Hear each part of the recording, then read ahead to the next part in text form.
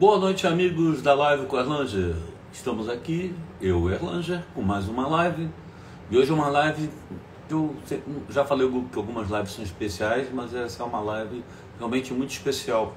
Eh, e eu vou confessar logo que eu paguei um certo mico, porque eu tive muito tempo fora do Brasil. Ulisses Cruz, você vai ver o cara como ele é foda. E aí eu. Foi até o, o, o Calone que me mandou o texto dele, é, A Terceira Margem do Rio de Guimarães Rosa. E eu vou contar a história. Eu estava na esteira ouvindo, aí mais ou menos com. Odilon, se você for para solicitar, eu, me agrada, mas eu vou tentar. Porque eu não consigo. Eu tenho um problema digital, já expliquei aqui para a galera mas enfim, eu estava na esteira, resolvi ver, ouvir. Aí mais ou menos com uns dois minutos, eu, eu, eu, eu parei, saí da esteira e fui para uma cadeira lá, alguma coisa, um sofá. Ô Dilon, solicita para entrar no vivo, por favor. É, que eu não tenho nem controle aqui. Que eu fiquei tão enlouquecido com a com a interpretação que eu não era não não, não era para se ouvir numa esteira.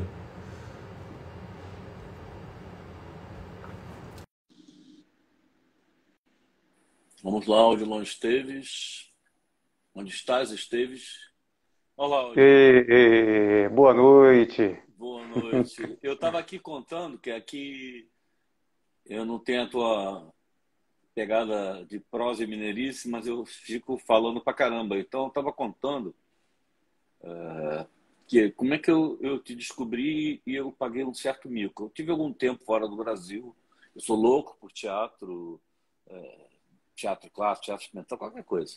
Arte teatro foi o slogan que eu usei na Globo, assim, a emoção mais perto de você. Você ficou ao alcance de um, de um perdigoto. Não tem nada, na, nada parecido. Aí eu tô, eu tô um tempão ceivando o Calone a fazer uma live comigo.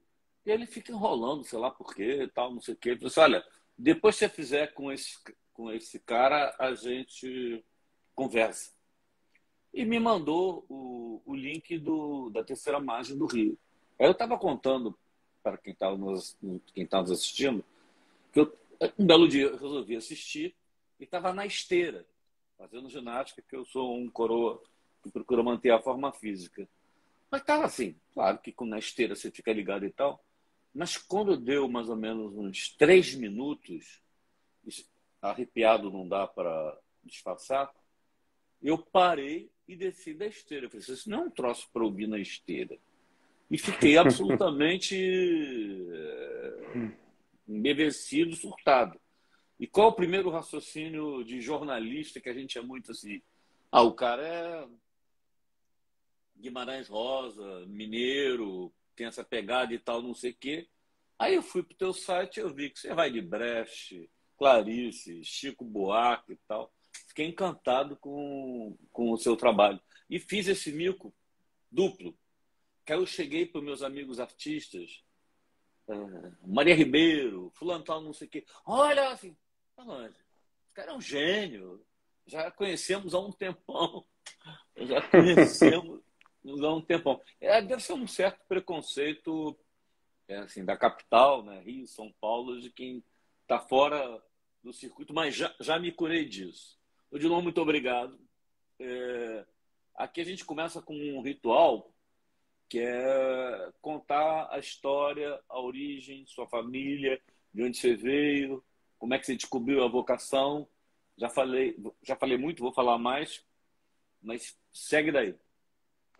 Primeiro, eu gostei demais de ouvir tudo isso que você disse. Eu fiquei feliz de saber que, que você começou a ver na esteira e, e, e eu, não, eu não acho que tem, não sei se é um preconceito não, é porque eu realmente fiz muito pouca televisão e cinema, né? E o teatro, por ser uma arte presencial, pensei, mais eu, ou menos. Grupo... Eu pesquisei, você tem oito longas, oito longas. Mas poucos deles eu estava no núcleo de protagonistas.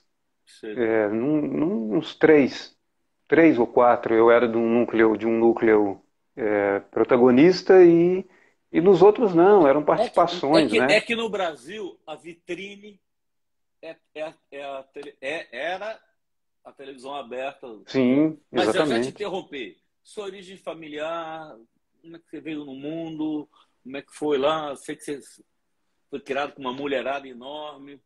Fala aí. O, o, o Erlanger, eu sou de uma cidadezinha chamada Novo Cruzeiro, que é do norte de Minas. E vivi lá até 13 anos de idade. Depois me mudei para Belo Horizonte para estudar. Já na sétima série, uma tia, duas tias, irmãs do meu pai, pediram para minha mãe que, que, me permitissem ir para Belo Horizonte para estudar. Mas é, e morei em Belo Horizonte 27 anos. Eu agora estou em São Paulo, mas fiquei 27 anos em BH. Então, eu, eu me sinto muito do interior de Minas, de Novo Cruzeiro, porque eu acho que a infância tem, ela é muito marcante, né? São, são as primeiras emoções que você tem do mundo, então isso te, te marca muito profundamente. Mas eu sinto que eu já sou também meio Belo Horizontino.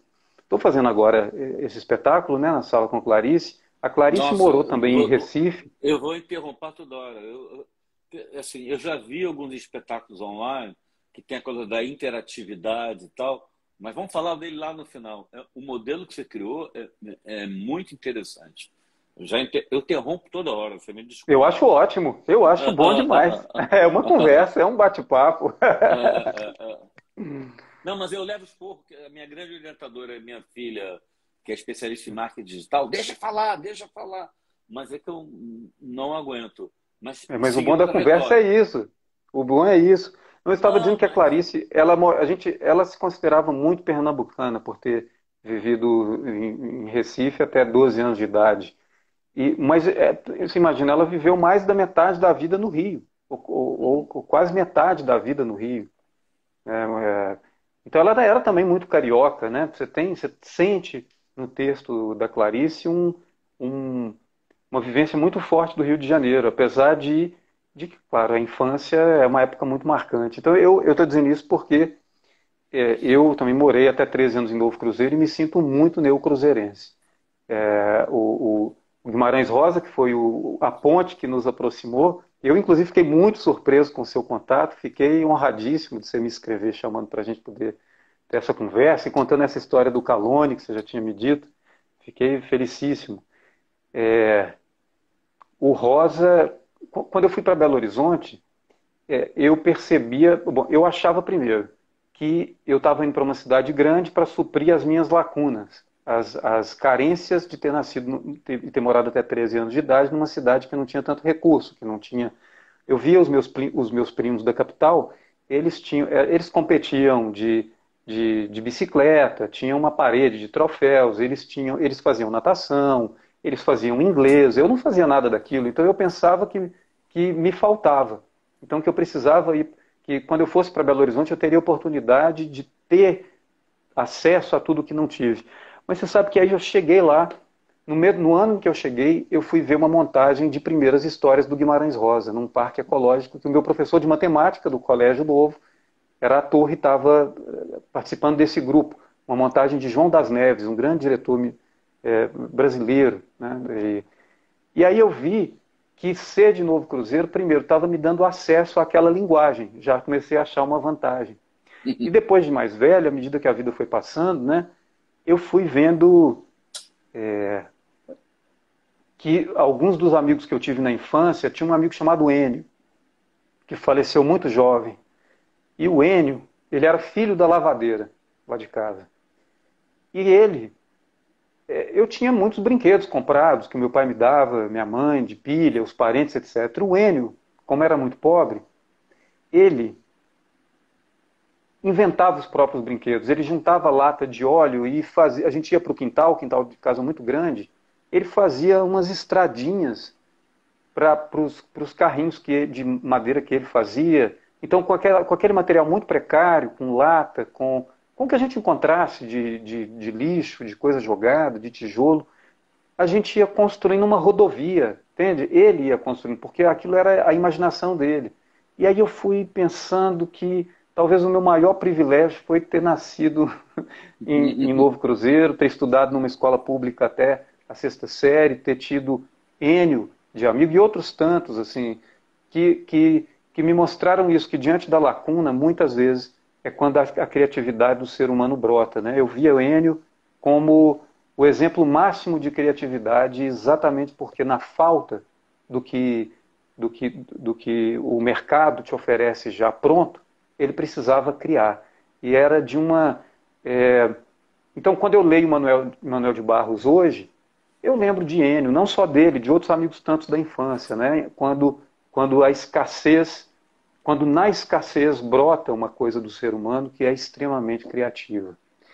E, então, bom, sou de Novo Cruzeiro, meu pai morreu quando eu tinha 5 anos de idade. Tô, tô, tô já dizendo isso porque é, a terceira margem, que foi o, o vídeo que, né, que você, através do qual você me, me conheceu, fala o, disso, fala o de... Nosso, o, no, o nosso match, nosso match. O nosso match foi esse, foi Guimarães Rosa que fez a gente, o nosso match foi por aí. Eu, fala de um filho esperando é né, um pai voltar, um filho que entra numa, pensado... numa canoa e não volta. Nunca, Caramba, é né? sempre Freud, não tinha pensado nisso. É. Então, é, é, é, engraçado porque eu conto no início do Na Sala com Clarice que um dia eu narrei para minha família, ah, depois de um jantar, perguntei sobretudo para os meus tios homens que nunca tinham me visto no teatro. Depois de dez, quase duas décadas eu já trabalhando com teatro, eu nunca tinha feito nada para minha família. Perguntei para todos se queriam ouvir uma narração de Guimarães Rosa e ofereci a narração naquela noite da terceira margem do Rio. E quando acabou, a minha mãe disse para mim assim: Ô oh, meu filho, é a sua história, né? Você imagina, ela, ela deu um salto, cara. Eu fiquei muito emocionado, né? Nossa. Porque. É, eu, sabia, né? eu, eu, eu, sabia que você tinha perdido o pai cedo, mas não fiz essa. Como eu não sou psicanalista, eu não fiz essa essa fusão. É um pouco você, né? É, e vou te dizer, no seu livro, no Cinza, Carvão, Fumaça e Quatro Pedras de Gelo, é exatamente por causa disso o seu primeiro capítulo me, me marca muito. É, Para quem não. O, o, o Erlanger tem, um, tem um, esse livro que eu acabei de dizer o título, que é Cinza, é, cinza, carvão, carvão fumaça, fumaça, e quatro, pedras, e quatro pedras de gelo. Não sei se o livro presta, mas é um dos maiores títulos da literatura brasileira. Esse título é muito bom mesmo. E, e, o primeiro capítulo conta a história de um cara que, que queria subir um, um, um, Ele era alpinista e queria subir um lugar que ninguém subia, que todo mundo que tentou morri, morreu. É, e aí a esposa, quando ele já está preparado para fazer a primeira, para escalar a primeira vez. Porra, você leu a... o livro, caralho. Eu não li o seu, eu não li o livro todo ainda. Eu comecei quando a gente se conheceu. Eu fui pesquisar também sobre você, assim como você fez de entrar no meu canal. Eu falei, não, eu quero conhecer um pouco da, da tá do, do, quem é o Erlange. E, e não estou conseguindo avançar muito na, na, leitura. Eu li o primeiro capítulo do seu livro, porque eu estou no meio na sala com Clarice e estou ainda mergulhado na obra da Clarice. Eu não consigo muito é, afastar demais, mas achei uma coincidência maluca que o, seu, o primeiro livro seu que eu pegasse, justo no primeiro capítulo, contasse a história de um, de um pai que morre quando o filho é recém-nascido. Né? Eu já filho, tinha cinco anos e meio. E o filho né? vai recuperar a história. E depois o, fi, é, e depois o filho, já nesse primeiro capítulo, é, eu acho que não tem problema contar o spoiler, porque isso é só né, é, é dar um spoiler, mas é, é o primeiro capítulo e, e depois o livro segue seguramente. Mas esse filho, é, o pai morre na tentativa de escalar, de fazer, de, de, de subir esse, essa parede, e depois de 40 anos, quando esse filho já está com 40 anos, ele resolve fazer a mesma trajetória do pai, tem um, um, tremor de terra, uma avalanche, ele se protege, mas quando eles saem ali do, do, do lugar onde, da gruta onde estavam se protegendo, ele vê um bloco de gelo e, e, de, se depara com uma pessoa de 27 anos, que é a, a imagem dele próprio. Né? Com 27 anos, ele reencontra esse pai. Então, para mim, é, foi muito doido pensar que você me encontrou através Nossa, da terceira margem do rio e o primeiro livro seu que eu leio é de um filho que reencontra o pai o, o cadáver do pai congelado 40 anos, quase 40 anos depois da morte. Né? Eu fico achando que essas coisas não são coincidências, né? são, são, são travessias que vão costurando o caminho da gente por aí. É, Não, por quê? Assim, eu sou obrigado a dizer, claro, eu tenho um drama enorme quando acabo um texto, assim, será que presta, entrega, não entrega, não entrega, mas assim, nesse livro, eu, se é uma coisa que eu me orgulho, é desse primeiro capítulo, porque ele é de uma, se parece que é real, né? Você lê, você acredita que, essa história aconteceu, né? É um... Muito, é muito real. Eu, inclusive, é, fiquei. Bom, como eu ainda não avancei na leitura, eu li o primeiro e, e, e, e me volto para os ensaios da sala com Clarice, porque essa, né, como, como você viu, a cada semana os textos mudam, então eu não consigo sair disso. Mas eu pensei, vou começar já o segundo capítulo, porque provavelmente no segundo ele já vai revelar que isso é só uma introdução de uma notícia. Ele é jornalista e começou com resgatando um fato que aconteceu não sei onde. Não, já começa um outro assunto. Então, é, é para mim foi muito surpreendente. Eles, é muito real. Eles vão se casar é, no final com tudo, e acho que o último, último capítulo é também extremamente forte, mas assim, eu, o que eu costumo falar, e vão parar de falar de mim, é que é o seguinte, eu tenho uma tese de que em 1600 tudo foi escrito. Tudo podia ser escrito sobre a natureza humana, o Shakespeare escreveu. Aliás, você não tem muitos textos do Shakespeare, né? Não tem, não tem. É. Minha cultura, minha cultura dramática é paupérrima. Eu sou, não, uma, não. sou uma pobreza. O, o, o, o, Shakespeare é que a humanidade ficou, vou falar, burra. O Shakespeare era popular. O Shakespeare é popular total. Mas assim, eu diria que é, quando assim, tudo já foi escrito, tudo sobre a natureza humana já foi escrito. O que varia é a narrativa, a maneira como você dá uma embalagem diferente aos nossos poucos sentimentos, que aí eu já trato muito no outro livro, que é assim, das coisas do ser humano e tal, não sei o quê, mas você já deu uma escapulida. Você fala da morte do seu pai, mas você foi assim, só tinha mulher na sua vida? É, eu tenho quatro irmãs. Eu, o, o, meu pai era viúvo quando conheceu minha mãe, então, é, então eu tinha, ele já tinha três filhas quando conheceu minha mãe. Nascemos eu e a minha irmã caçula. Então somos, somos cinco irmãs. Eu, eu falo cinco irmãs porque rompendo mesmo a gramática, né? Porque elas são maioria. E eu propus a elas que o nosso grupo de WhatsApp chamasse cinco irmãs. Eu acho que nós homens precisamos fazer um exercício de linguagem, de tentar nos sentirmos incluídos no feminino quando o feminino é maioria. São, são, são né, manejos assim, da linguagem, mas faz, depois desse a parte, e moravam na minha casa outras pessoas. Tinha, como eu disse, a Germana, que era não morava lá, mas trabalhava lá em casa, que era lavadeira. Tinha a, Maria da Paz, que cuidava da casa, mas que era uma espécie de babá minha e da minha irmã. Tinha a Tida, que era cozinheira. Então era uma casa onde havia muitas mulheres. Eu tinha os meus tios, os irmãos do meu pai, os irmãos da minha mãe, mas a convivência diária, cotidiana, era numa casa em que o feminino é que, é, é, é que dava a tônica. Né? Era, era uma casa de mulheres. Eu era o único homem. Só muito mais velho eu fui entender a maneira como o machismo está tão introjetado. Eu era tratado como o homem da casa, como se eu precisasse ter algumas regalias. Entende? A minha irmã, caçula, ela aprendeu desde cedo a arrumar a própria cama. Ela aprendeu desde cedo a lavar a própria calcinha. Nunca me foi cobrado lavar a minha cueca ou arrumar a minha própria cama, só que eu só tive consciência disso muitos anos depois. É, é, depois de um tempo é tão louco isso, porque a minha irmã caçula foi morar em Belo Horizonte, era quatro anos mais nova que eu. Ela ficou responsável. A minha mãe mandava o, o dinheiro para pagar o aluguel, pagar as contas da casa, mas quem ficou responsável por fazer esses pagamentos era a minha irmã caçula. Nenhum compromisso me foi passado.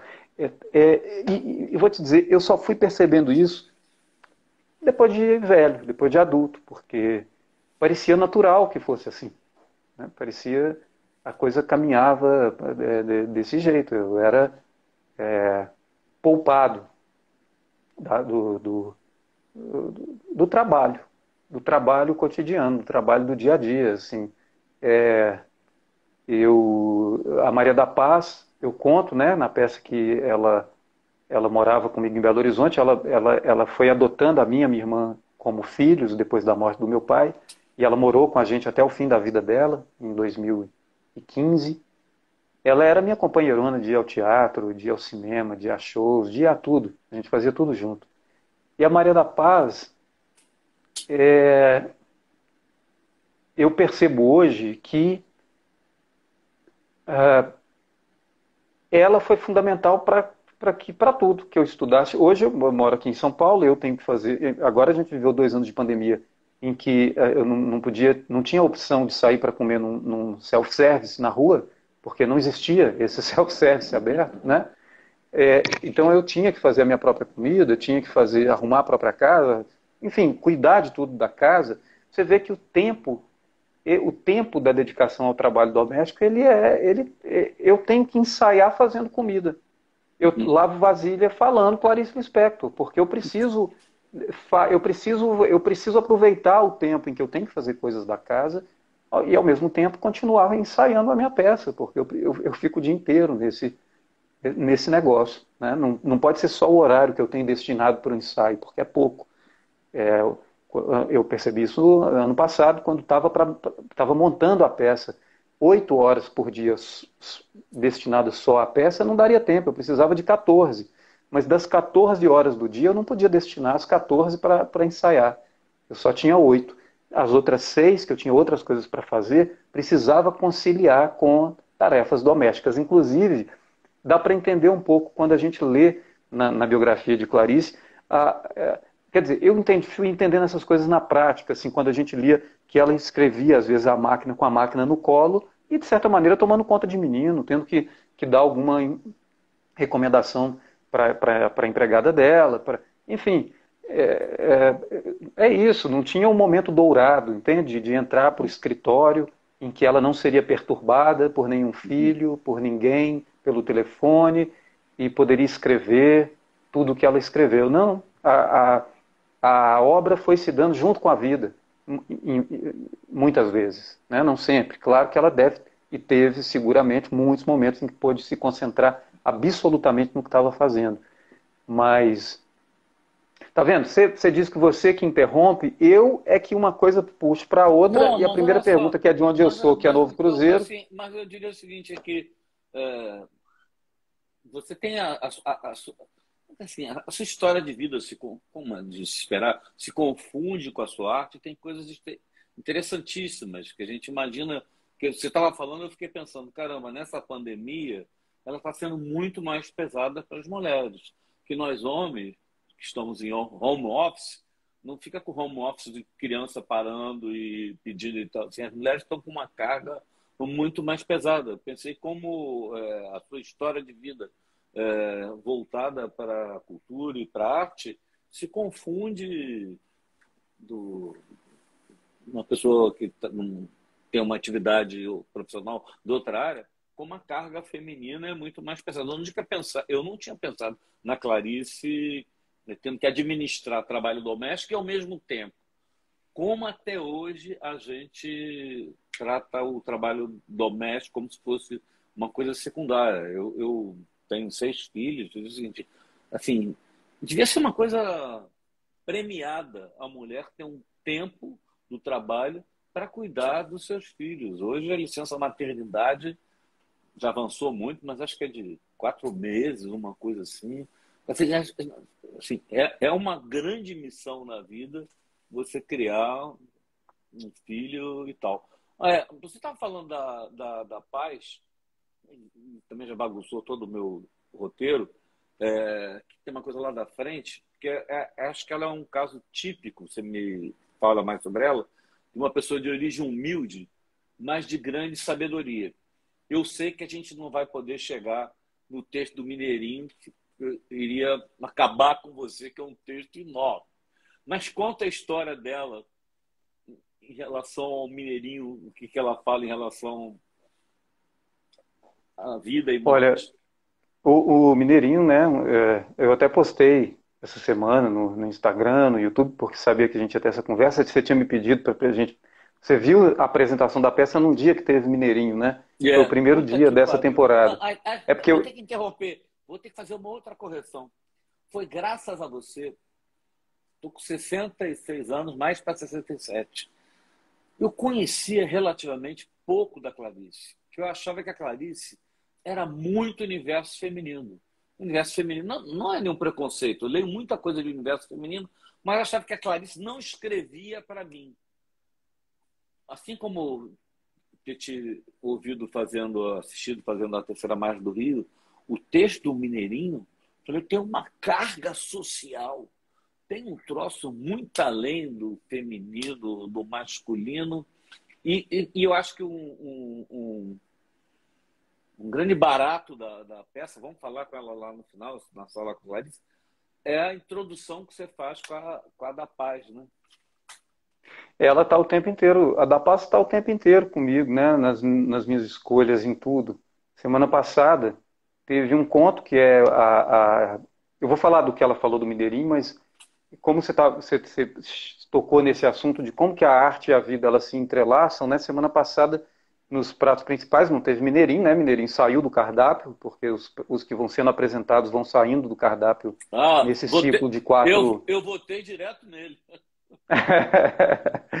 e, e aí o público escolheu o Grande Passeio, que também foi publicado com o nome o, o Viagem a Petrópolis, que é a história de uma senhora que não tem mais ninguém no mundo e ela é, é, nasceu no Maranhão, vai parar no Rio de Janeiro, porque uma senhora promete que vai interná-la num asilo. Isso não acontece. E essa senhora, essa dona que chama Mocinha, Margarida é o nome dela, mas ela é conhecida como Mocinha, ela já perdeu todo mundo. Perdeu o marido, perdeu os filhos, todos foram morrendo.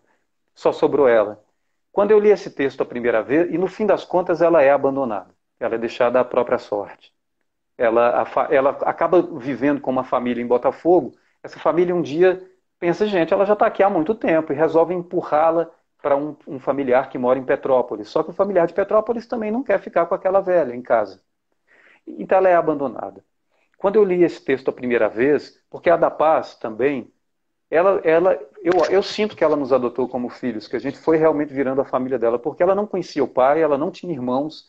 Depois de um tempo, a mãe dela morreu, ela tinha parentes distantes, assim, que ela visitava às vezes uma vez no ano.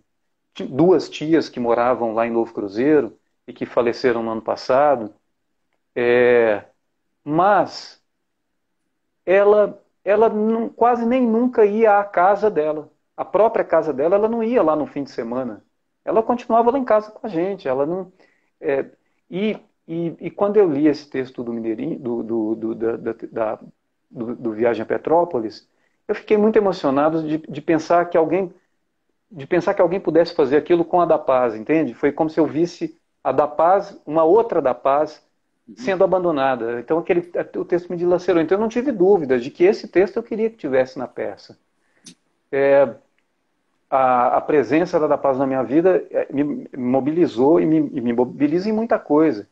Eu passei depois da morte dela em 2015, eu passei pelo luto o luto dela é, lendo Guimarães Rosa e Manuel de Barros, porque em Guimarães Rosa eu encontrava a linguagem da Da Paz, que também nasceu no norte de Minas, e no Manuel de Barros eu encontrava uma espécie de pureza que a gente encontra em personagens do Manuel de Barros, como em Bernardo, no próprio Manuel, uma pureza diante da vida, diante da natureza, um, um é, que, eu, que eu também via na Da Paz e via a vida inteira. Então, eu, eu, os dois primeiros anos eu precisei desses dois autores para atravessar esse luto, sabe?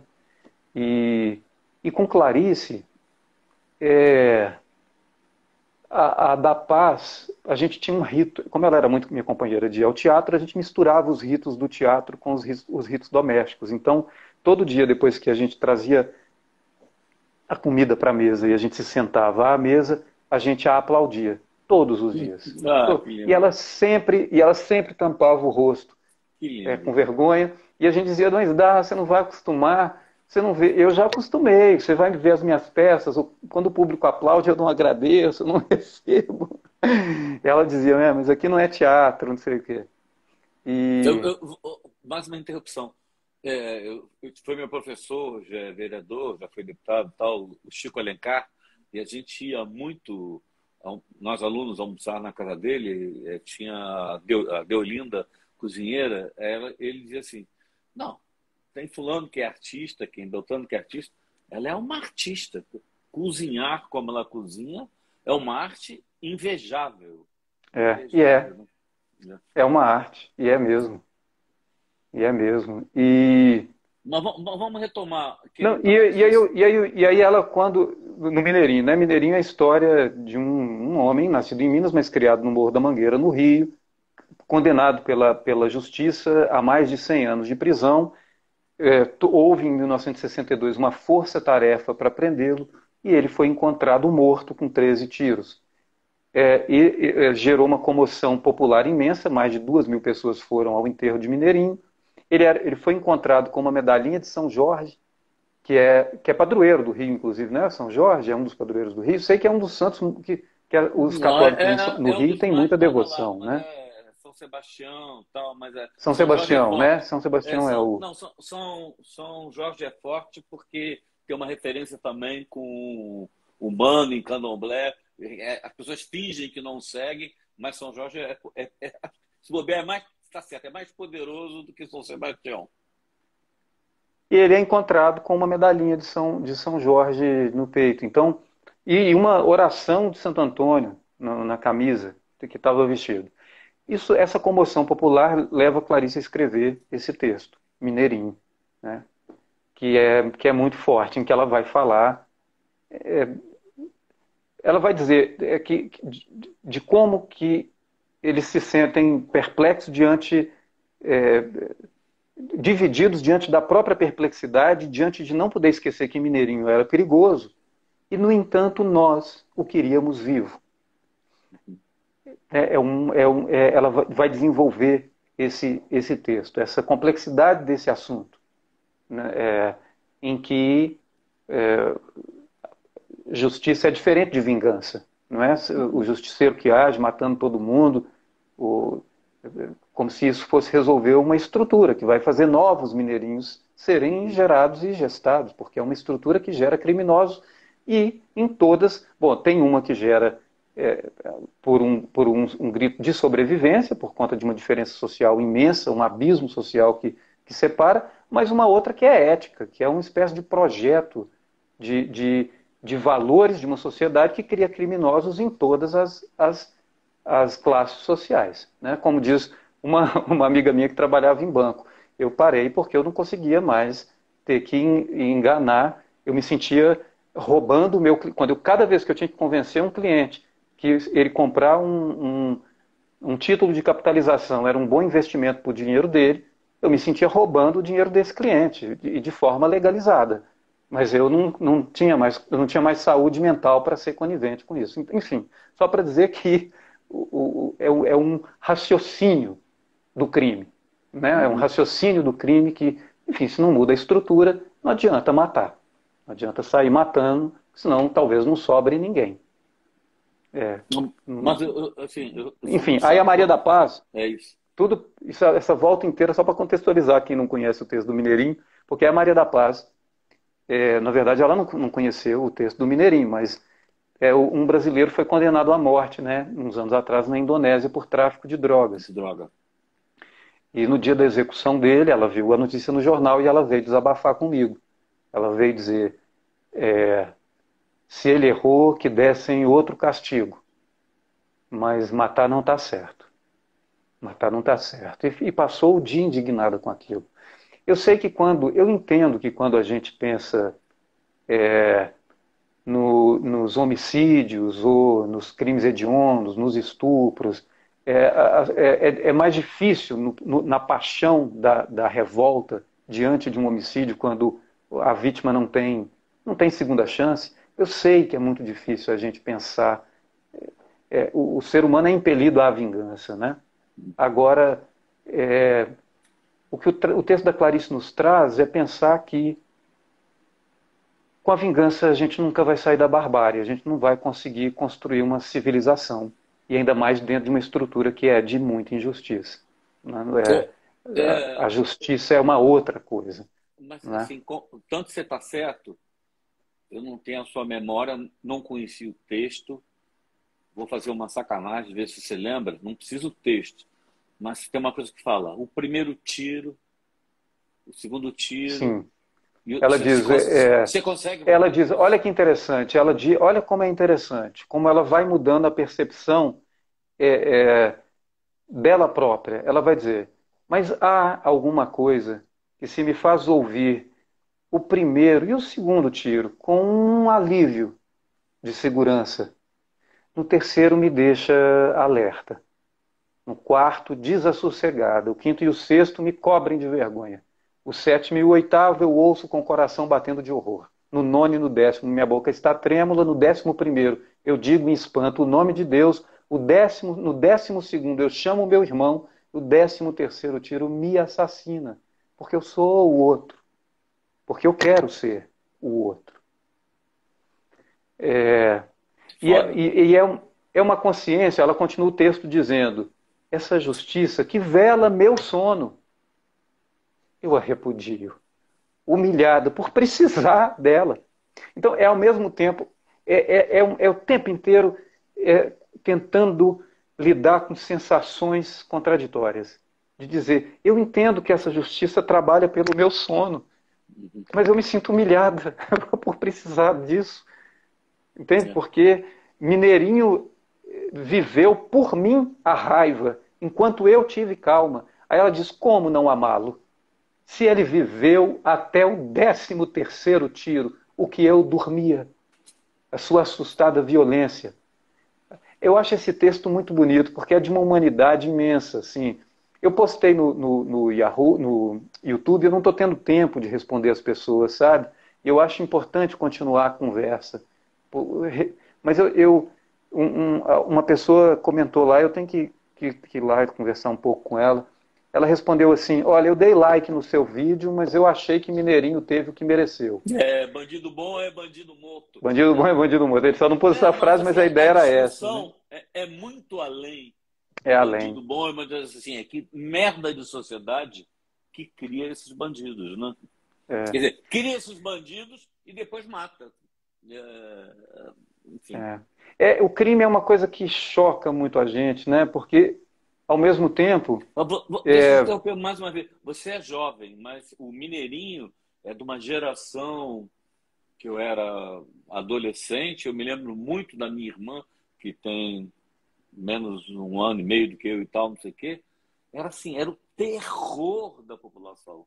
Mas, ao mesmo tempo, quando a gente tem informação desse massacre, na verdade, não é uma justiça, é uma derrota da sociedade. É um negócio é. que a Clarice conseguiu pegar isso maravilhosamente. É uma derrota. É, porque, olha, vou, vou dizer, tem um outro fato traumático aí no Rio, né, que foi o ônibus 174. Isso. Quando a gente vê o documentário do Padilha, é muito interessante, porque você vai. É claro que diante daquela mulher que morreu é, que, bom, que, que, que, pode, pode ter sido um, né, um tiro de outra arma, enfim, mas é, é claro que a gente fica com ódio. Ela, uma pessoa não pode ser morta, ninguém pode ser morto, nem aquela vítima podia ter morrido, e nem o rapaz. Mas quando a gente vai vendo a história do Sandro, é, é, a, é uma tragédia, né? é uma tragédia a maneira como ele é, se, desumanizou, é uma estrutura de desumanização, assim. Ele viu a mãe ser esfaqueada num pequeno comércio que ela tinha e tentaram roubar ela ali e esfaquear a mãe, entende? Ele, ele com seis anos de idade sai para pedir socorro para dizer mãe machucaram a minha mãe. Então cresce dentro desse abandono, dentro de uma estrutura toda fodida. É, e é muito comovente, porque, sobretudo no, Estou falando do Sandro, porque é mais recente, mas a gente podia falar do Lázaro, que foi morto no início desse ano, né? É, que também foi uma caçada assim. Que uma coisa interessante que a Clarice fala, que é, é, é também apontar o dedo para nós, nós próprios, é dizer, é, o, o, justiceiro, ele ele ele está cometendo, ele, ele pode já, ele já não está mais nos protegendo nem querendo eliminar um criminoso, ele está cometendo o seu crime particular um longamente guardado. E a gente não pode esquecer disso. No, no, no Grande Sertão Veredas, Guimarães Rosa conta a história do Pedro Pindó, que tinha um filho que era uma criança, um menino muito mal, malvado, que judiava, não pode falar, desculpa, mas que maltrata, é porque ele usa o verbo, é, Clarice, acho que ele usa o verbo judiar, né? Mas é, é ele maltratava. Ele maltratava as crianças, as, as, as, os bichos todos, era um menino muito malvado. É, e os pais começam a bater nele, a bater para corrigir. Bater de pendurar na árvore, no terreiro, de, de tirar sangue do menino e depois lavar com salmoura. Só que com o passar do tempo, eles vão tomando gosto naquilo. Começam até a chamar as outras pessoas para verem o exemplo bom. Entende? Então, o ser humano tem isso, é bem e mal é, dentro da gente. Né? É bem e mal e a gente tendo que lidar com essas forças. É, como a gente leu mil é, é, relatos e relatórios de torturadores que sentiam uhum. que no treino para se tornar Prazer. torturadores sentiram mal no início, na primeira, na segunda e na terceira vez, na quarta já não já estavam indiferentes, na quinta, na sexta, talvez já começasse a sentir prazer naquilo. Então, é, é difícil, porque é uma estrutura que ela envolve todos nós, né? É, é, pensar, refletir sobre isso é muito importante, porque quem dera, né, se a vida fosse. Quem dera não, seria talvez uma, uma tragédia pior, mas lidar com a vida como se fosse um filme da Marvel, com o bem e o mal muito definidos, é uma, é uma desgraça absoluta, né? É uma, é uma pobreza imensa, porque é, no fundo Deus e o diabo estão é, dentro da gente. Né? Assim, por mais que, que as pessoas queiram que Deus esteja regendo o mundo e o diabo aqui à espreita para nos fazer seguir pelos, pelo, pelo mau caminho. Bom, quem pode, quem acredita nisso pode acreditar e está tudo, tá tudo bem, né? Cada um vai com a sua crença. Agora, a gente sabe que essas forças, o bem e o mal, o tempo inteiro, a gente aí tentando é, se humanizando e desumanizando continuamente, vivendo mil processos que nos desumanizam e a gente correndo em busca de se reumanizar, porque é, porque às vezes a gente é tem desejos homicidas mesmo. Né? Mas como fazer para a gente se depurar, para a gente se humanizar ao longo da vida e não ir numa derrocada de, em direção à barbárie? Né? São como, perguntas que eu me faço, né? e a literatura como, ajuda muito a gente se perguntar é um, essas coisas. Né? Como você é um artista muito além de ficar interpretando o texto dos outros, é um, estamos vendo um pensador, você me fez é, é, pensar em duas coisas assim uma sociedade selvagem que acaba punindo os seus mais selvagens selvagemmente. E a segunda coisa, que tem muito a ver, eu não tinha pensado nisso, né? como a gente vive hoje, com 620 mil mortos, a banalidade do mal, da morte e tal, quer dizer, mas voltando, é, é, é, é uma coisa inacreditável como a Clarice conseguiu isso, sei lá, quantas décadas atrás, já mostrar esse impasse da, das sociedades que a gente que a gente vive e não está conseguindo muito superar e aliás andou algumas casas para trás. Mas você fugiu assim, da sua trajetória. Adorei. Você falou que não ia lembrar do texto do Mineirinho, mas lembrou. Lembrei, lembrou. você viu? Viu? mas é porque foi só um pedacinho. É, mas é, ele tá mas assim, aí você tá lá, a mulherada toda em volta, como é que você. Como é, como é que você tá, sua trajetória, descoberta de vocação, como é que você vai parar no teatro? Ó, é, essa, essa, é difícil né, de responder essa pergunta, porque ela tem, tem muitas camadas. Né? Eu era apaixonado pelo circo eu tinha o circo Mambembe que passava pela minha cidade, então isso me encantou já de cara, assim, ver o circo. Eu queria, eu achava impressionante alguém que não enraizava, que, que é, é, depois mais tarde, quando conheci a obra do Chico Buarque e na música lá do, do circo místico que ele diz criar raiz do, da trupe de circo, né, que é criar raiz e se arrancar. E eu entendi muito isso, porque a gente criou uma amizade com as pessoas do circo ali, que, as pessoas que ficaram dois meses na minha, na, na minha, cidade, a menina do circo que estudava na minha escola, tem uma lei que acho que é da época de Getúlio Vargas, né? É, é... Que obriga a ter vaga para os filhos dos circenses. Então, para a gente era, era ter uma celebridade na sala, na, na, sala ao lado. Eu ficava impressionado. Era a menina que andava na corda bamba, que andava no, no, no aro, no, no aço, e, e, ela de repente estava ali no recreio. Eu não conseguia nem chegar perto, né? Porque Eu ficava muito impressionado, encantado com aquilo tudo. Então tinha esse lado do encantamento, né? É, a arte, eu não sei, assim, é, engraçado, né? Porque é, eu estou tão influenciado realmente pela Clarice que eu fico tentando fugir dela para não para eu não ficar vivendo entre mas, assim, aspas, mas eu, eu, mas eu estou vivendo entre aspas, né?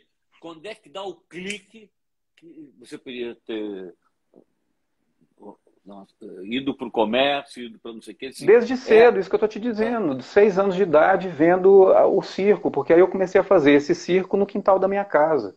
Hum.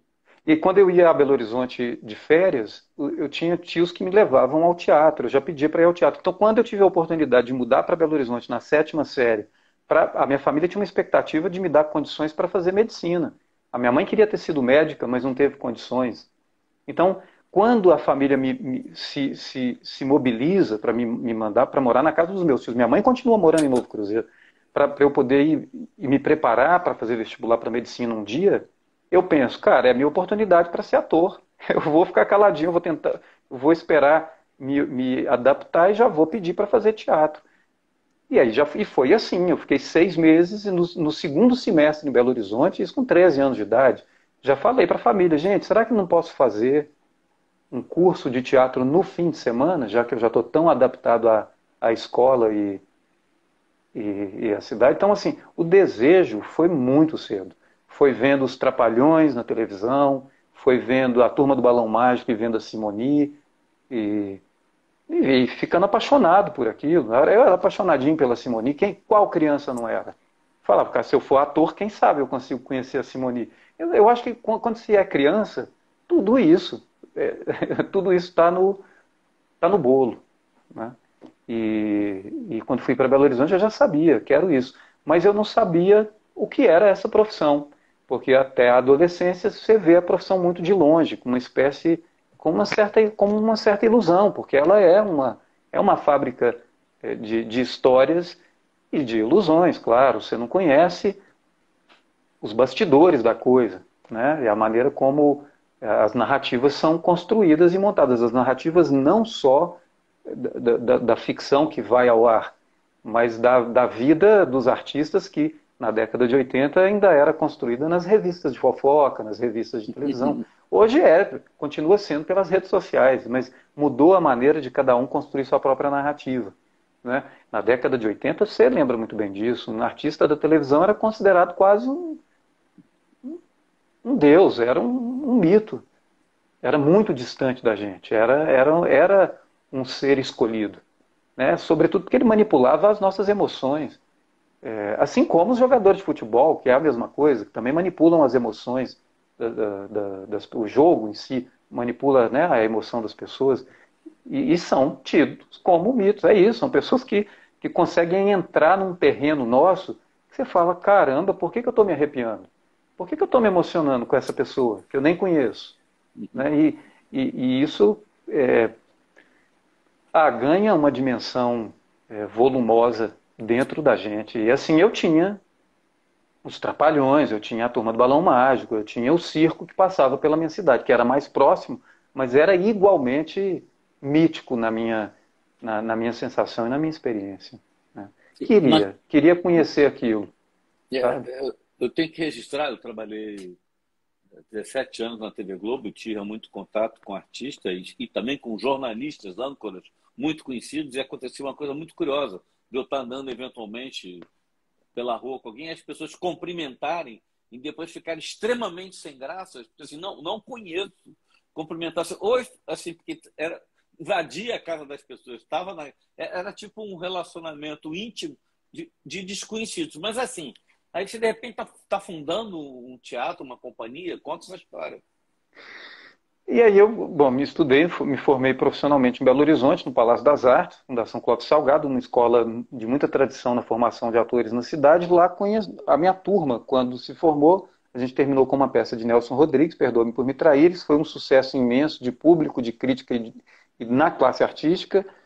E a gente não quis se separar. A gente resolveu montar uma companhia, isso em 2000, a gente se formou em 2000, em 2001 montamos a companhia Luna Luneira. É, para continuarmos juntos, estudando juntos, porque a gente já tinha percebido que havia uma, uma química já entre a gente, que, que a gente desenvolveu exatamente por termos estudado juntos por três anos. A gente passou por um treinamento parecido, cada um recebe de uma forma, obviamente, mas uhum. ali cria uma amálgama, cria uma, um, cria uma liga. Né? Já, a, e continuamos juntos. Alguns foram saindo, obviamente, ao longo dos anos, e, é, e nisso a companhia chegou agora, comemorou esse ano 20 anos de, de, de existência, que foi um espaço também, Erlanger, de, de possibilidade de experimentação. Isso, é, isso que eu tá... perguntar. Vocês, vocês têm um repertório fechado ou são abertos a no, novas Olha, viagens? o repertório, a, a gente só fez, é, a, a, gente mantém peças de repertório. Tem uma peça uhum. que, que estreou em, em 2007 que a gente apresentou até 2019. É, só parou por causa da pandemia. Em, em, teria ainda alguns compromissos em 2020, mas que é aqueles dois, que é um conto do Caio Fernando Abreu. Essa peça a gente apresentou muito, mais de 400 vezes, isso no, viajando quase Caraca. o Brasil inteiro. É uma peça que a gente levou a Portugal, fomos a seis ou sete países na América Latina. Então foi uma peça que circulou muito. Continua em repertório. É, mas a gente leva três anos entre uma peça e outra. Claro que houve vezes em ter uma peça num ano e no ano seguinte ter outra, né, por algum projeto que é aprovado e, ou, ou por uma data que de repente de um projeto que a gente não esperava que já fosse mais contemplado, e ele é muito tempo depois. Mas um grupo, ele é, é um, um, espaço muito privilegiado de experimentação. A gente podia fazer os nossos próprios projetos, né? em vez de ficar esperando. O mercado é, tem uma coisa cruel, né? porque como, como envolve muito dinheiro e uma expectativa de, de grandes audiências, você precisa usar não só dos, dos atributos artísticos dos artistas, mas os atributos é, físicos são muito importantes muitas vezes para os, né, para os grandes veículos, porque é, é algo que independe de mediação cultural. Né? Você para, você vê uma pessoa muito bonita, você para, você para, você não, você para de desapiar para dar uma olhadinha. Então, é, um grupo de teatro, eu acho que nesse sentido ele é, ele é mais democrático, né? porque ele, nele, a gente que não se encaixa, que não está no perfil mais procurado, digamos, para a televisão ou para o cinema, a gente vai poder fazer os nossos próprios projetos, vai poder escolher as temáticas, as obras, as técnicas que quer estudar. Então, o, a Luna Luneira foi, para mim, é, esse lugar, a sorte, uma sorte mesmo, porque eu estava, depois fui fazer faculdade de teatro na UFMG, mas tinha esse grupo ali que continuava se encontrando, né? Eu digo continuava porque eu estou um pouco afastado do grupo, né? Eu, a última grande temporada que eu fiz com o grupo foi em 2016, até 2017 eu pedi uma licença de quatro anos, mas que ela, ela, os quatro anos já se cumpriram, mas ela continua porque eu acabei vindo para São Paulo e as coisas mudaram um pouco de planos. Mas, é, mas foi uma experiência é, imensa viver. Não vai, estar sempre guardado. Se for um caso, você reativa. Eu só queria fazer um comentário que assim é uma coisa que me irrita muito. De novo, com a minha experiência em televisão, você vê hoje os grandes canais de streaming, não vou ficar citando, tal, tem cinco, seis, sei lá, oito, assim. O critério estético não existe. As pessoas escolhem pela competência, pela compatibilidade com o papel. Uma das séries muito badaladas, que é o Casa de Papel, eu cheguei a postar isso que é impressionante. O, o, o ator que ganhou o papel do professor, que é o protagonista, que o lançou para o sucesso, tem um vídeo dele na saída do, da academia de ginástica, quando o empresário liga para ele para dizer: Você foi escolhido depois de quatro meses de teste. Ele não pegou esse papel porque ele tinha olho azul, porque ele era portão ou porque tal, não sei o quê. Mas eu acho que isso essa, essa questão isso vai, vai mudar no Brasil, vai, vai mudar no Brasil. É... é, tem, tem, tem mudado muito. Na verdade, sempre teve espaço para muita gente, né? Assim, você tem espaço para todos os tipos físicos, eu acho que sempre teve. Mas o que eu, o que eu digo é, é os postos, os, os protagonistas, o, claro, você está usando esse exemplo na Casa de Papel, mas, por exemplo, no, na própria Casa de Papel, eles conseguem fazer um bom, é, uma boa, é, como eu digo isso, uma boa, é, uma média ali. O cast. É, você consegue, você consegue ter a atriz que faz a, a a, a, Úrsula, a Úrsula, que é a atriz que faz a Tóquio, ela é uma das mulheres mais deslumbrantes que. Não, que, ela é bacana, mas ao mesmo tempo tem, né? um, tem uma outra ali que é, uma, é um rosto comum. É Não, sim. É, eu acho que tem de tudo. Eu acho que, é, é. que tem de tudo, né? Mas o que, o que eu acho que hoje. o, o que está sendo feito. Essa outra série. Gambito. eu vejo muita. Eu vejo tudo. Desde porcaria, coisa mais maravilhosa que tem. Gambito da Rainha. Sim. Então, ela assim, ela é loura, tem assim, mas ela não tá aí porque ela é, não é. por, não, por não ser é. loura e ter. É, não tem é apelo, é não tem apelo sexual. Exatamente, é, é pela história. Você tem toda a razão. Tá, não, tá mudando ele tá, sim. Tá, ela tá ali pela entrega no papel, compatibilidade claro. e tal. Mas a gente vai, vai chegar lá. Né? Tá, já, acho que já está chegando. Acho que, por incrível que pareça, é uma porrada na televisão aberta uh, a, a oferta do streaming, mas ao mesmo tempo eu lamento pela TV Globo, que acho que tem um papel importantíssimo de identidade cultural brasileira, mas o que a gente parecia há uns dois anos, que era o fim do mercado, o fim não sei o que, está abrindo agora de uma maneira é, espetacular. No voo é solo, verdade.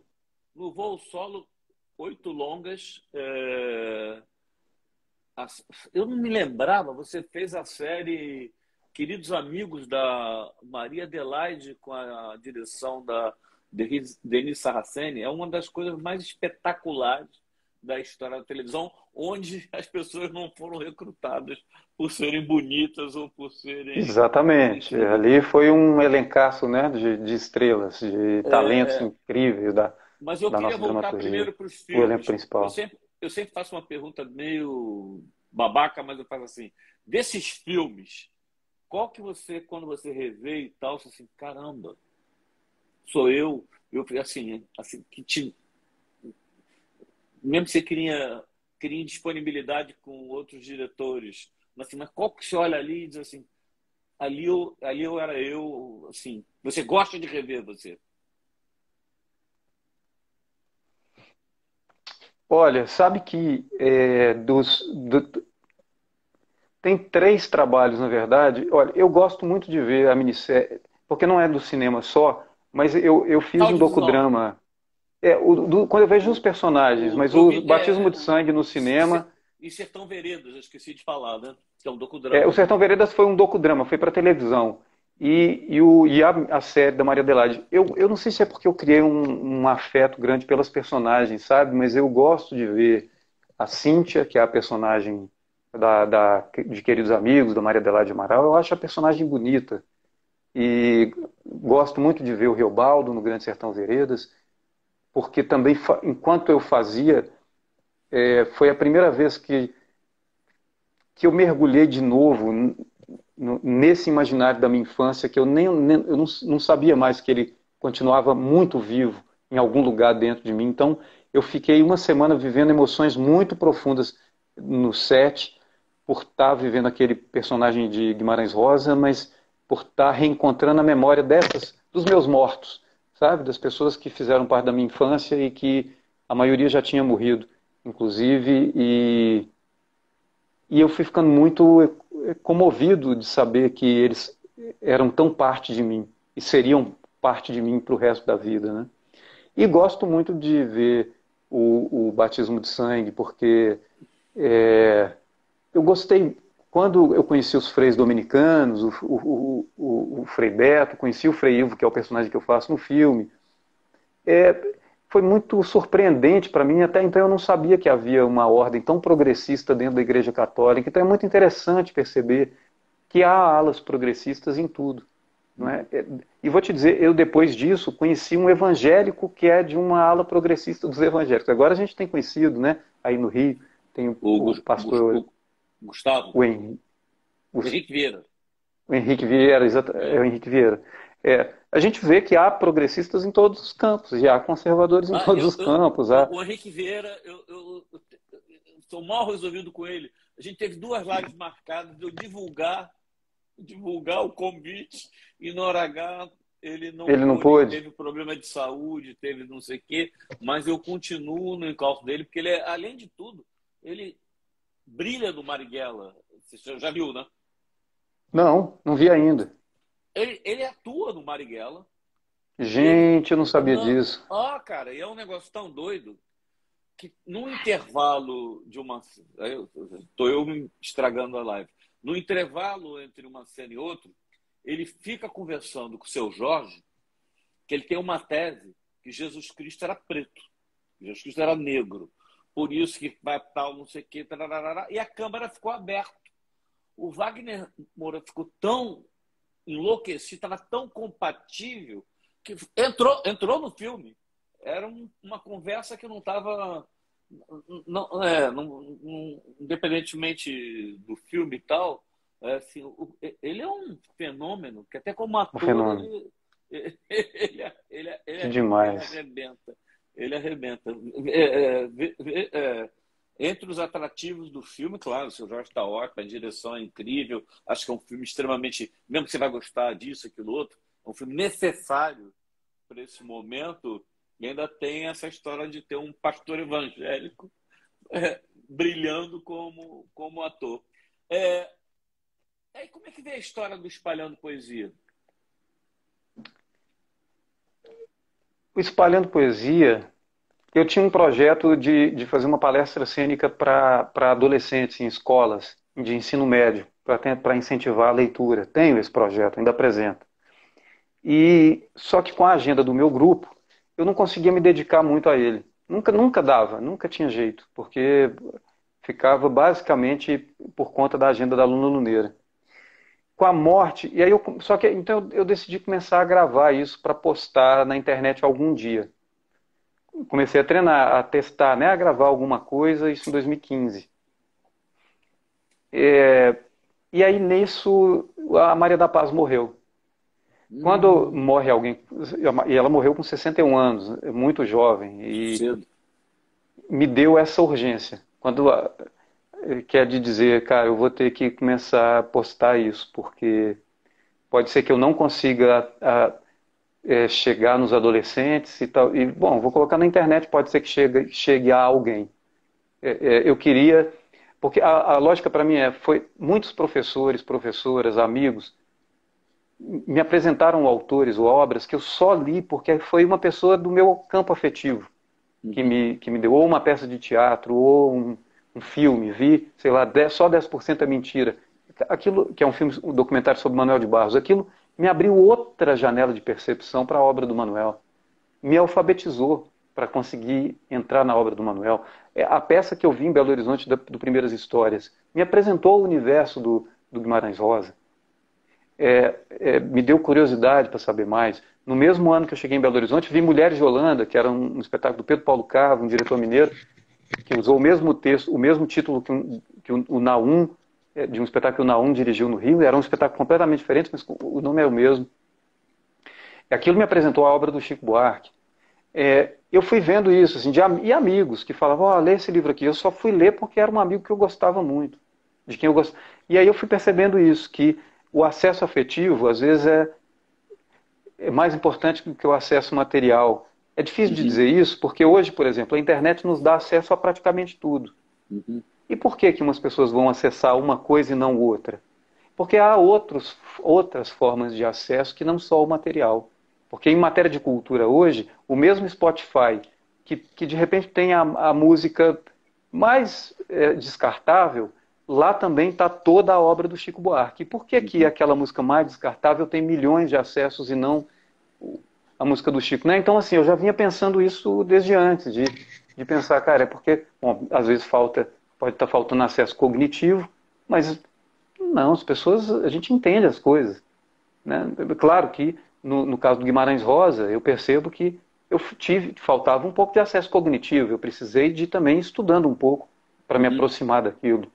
Mas é, eu acho que algumas vezes o acesso afetivo é que é que é o, o desempate, é o que, que abre verdadeiramente, é o que te atravessa. Então eu queria fazer, passar para frente isso que tantos amigos e professores e artistas fizeram para mim. é, é, e, e de também facilitar, de repente, o acesso a adolescentes. Como estava impossível fazer isso, por causa da agenda do meu grupo, eu falei, vou pôr na internet. Se eu morrer, pelo menos fica aí algum, alguém, alguém ver. É porque a, a morte da Da Paz me trouxe essa urgência. É, é, o luto traz essa urgência, né, para todos nós, eu acho. Coloca a gente diante da nossa própria finitude. E aí comecei. E é um trabalho muito espontâneo, né? Porque é um trabalho de difusão literária. Eu quero que as pessoas só conheçam os, os vídeos, os, os autores, assim, que se. Que... E vou te dizer, eu acho que tem funcionado com algumas pessoas, porque tem gente que me escreve dizendo, eu só conheci tal ator, autor porque vi no seu canal e aí, e aí fui procurar um livro dele, estou adorando, obrigado. Às vezes as pessoas me escrevem, aí eu vejo que, claro, é numa escala é, pequena, né? não, é, não, não é nada que, que viraliza, que, mas eu percebo que, é, que tem, tem uma contribuição efetiva, então, porque... Está tá espalhando, tá espalhando, sementes junto com as poesias. Eu acho que tá bacana. É, acho, deixa, acho que sim. Pelo assim, menos... Antes que eu esqueça, que eu fiquei pensando que combina tanto com você, talvez seja um autor que eu nunca tenha visto, e ele não é poesia. Eu, perguntar assim, eu não vou falar o livro da minha vida, mas acho que é o livro da minha vida, O Lobo da Steppe, do Herman Hesse. Eu não gosto nem da coisa do, da minha. Você leu O Lobo da Steppe? Não, ainda não. Lo... Não, então leia. Você vai ficar desmundado. E eu, eu sou tão obcecado que eu descobri que tem o Lobo da Steppe, está tudo invertido. Na origem, é um conto do Herman Hesse que depois ele, ele, ele escreveu como livro. Então, o, o, o, personagem dele, ele é assim, um camarada com grandes crises existenciais, de, de repente ele entra em contato com um circo existencial, uma coisa assim, que acho que você vai, você vai ficar desbundado com o, o, o Lobo da Steppe. É um livro. Ah, preciso, já vou até anotar aqui. É, vou para eu não esquecer. Não, porque depois eu queria que a gente, se a gente voltar a falar a respeito, porque ele trafega exatamente o mundo real, o mundo imaginário, o onírico. E sim, na geração dele, é uma coisa até meio, meio iniciérgica e não, e não, e não uhum. combinava. Ele é, ele é prêmio Nobel de, de literatura e uma coisa de uma modernidade incrível. É, Odilon, assim, antes da gente ir para a arte, é uma pergunta que é obrigatória, que eu fico imaginando quem vive disso, que é extremamente sensível, como é que você avalia esse momento é, do governo, deste governo, em relação à cultura? Como assim, esse ataque à cultura, ataque ao conhecimento, e deve ser um troço que mexe muito com, mexe com todo cidadão de bem, fico imaginando com o artista. Bom, eu, é, é um governo que despreza, né, absolutamente isso, acha, sei lá, um desperdício de, de tempo, de dinheiro, de confunde arte com, com apologia, né? Mas é, é, é interessante sua pergunta porque, bom, esse, isso já é um fato, né? É um governo que despreza isso. Mas é, diante disso, Elanger, eu fico, é, é, eu sempre tento trazer para o micro, para tentar entender nas minhas relações do, do, do meu pequeno mundo, é, porque diante desse desprezo, esse governo, ele, na verdade, ele reflete um posicionamento de uma população, de uma parcela é da população grande. É né? Então, ele não é só o governo. A, a pergunta que, que vem para mim é por que, que tem uma população tão grande que despreza a arte e despreza a cultura? Eu não sei exatamente responder, assim, eu estou é, me perguntando sobre todas uhum. essas coisas, mas quando, quando eu te falo, te contei, né, que quando eu conto que eu, eu narrei a terceira margem do rio para minha família, uma parte da minha família é evangélica. Essa parte evangélica tem, são pessoas que eu adoro, mas elas têm, o cotidiano delas é, elas trabalham a semana inteira e vão para o culto no domingo. É, então, eu, eu, dentro desse micro, observo que eles já têm. É, o ser humano tem necessidade da arte, tem necessidade da música, tem necessidade do filme, tem necessidade das narrativas. Né? Essa parte da minha família, ela já tem cinema com temáticas bíblicas, ela tem novela com temáticas bíblicas, ela tem música com temáticas bíblicas. os quadros, então se você tem um quadro em casa, ele é de temática religiosa. É, você tem, de certa maneira, um, um, um, universo aí que, que circula em torno de um tema. Uhum. É, eu, eu fico me perguntando, é, e bom, e a gente vive nesse mundo, né, nesse país em que você tem. É, é, eu não acho que se resume a isso, tá? Porque você tem de um lado a indústria do entretenimento, que o tempo inteiro, é, através da publicidade, te diz o que, que você deve assistir. E ela, de muito, e ela muitas vezes vai utilizar de, de, de nossos sentimentos mais primários, do medo, do tesão, a nossa libido, o ódio, a adrenalina. Não é à toa que filmes de terror faça tanto sucesso, que, que, que a pornografia faça tanto sucesso, que né, a televisão e o streaming sabem manejar bem isso. Eles colocam coisas para a gente sentir medo, coisas para gente, gente para a gente desejar, um pouco de reflexão, coloca ali um, um pouco, tempera com tudo isso, mas é, a, o entretenimento tenta jogar muito com isso, tentar nos, nos, nos agarrar pelos nossos pelos nosso, pelo nosso instinto. Para que uma pessoa culta ou não, ele não pode perder a audiência, ele quer a audiência de todo mundo. Então você tem, você tem de lado um entretenimento e uma publicidade fomentando isso, você tem de outro uma população imensa que está dizendo, olha, nem, publici nem isso eu quero, não preciso. Uhum. Porque nós temos toda uma indústria voltada para a temática que, que é edificante. Né? Então você tem. E aí você tem, de um outro lado, é, a arte sem certezas, sem verdades, sem, sempre com muitas dúvidas. É, para uma. Pra, e olha que foda, para um mercado que te diz a solução para os seus problemas, que te vende a solução para os seus problemas e para a sua felicidade. Se você consumir isso, você está tá ótimo. Tá? Se, se, for, né? Se, se, você for bonito, tiver fitness, tiver o carro do ano, o melhor papapá, papapá, o melhor, o melhor, o maior produtividade você vai tá? Temos a, solução para a felicidade e do outro lado também é alguém que também te dá a solução para a vida eterna, para os medos, para as angústias, para tudo. E vem a arte dizer: olha, nós não temos nenhuma certeza, temos dúvidas sobre tudo, não sabemos se tem vida ou se não tem, pode ser que tenha, mas pode ser que não. É, Deus e o diabo podem ser coisas de fora, mas podem ser de dentro. É, enfim, você não tem certeza, você não dá certeza.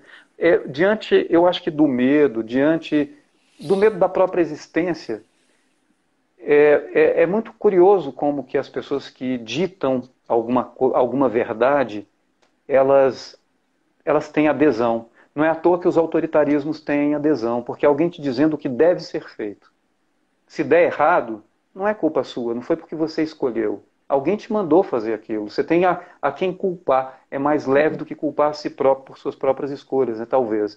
Isso não são verdades que eu estou dizendo, obviamente, né? são coisas que eu fico pensando. E aí tem uma outra coisa.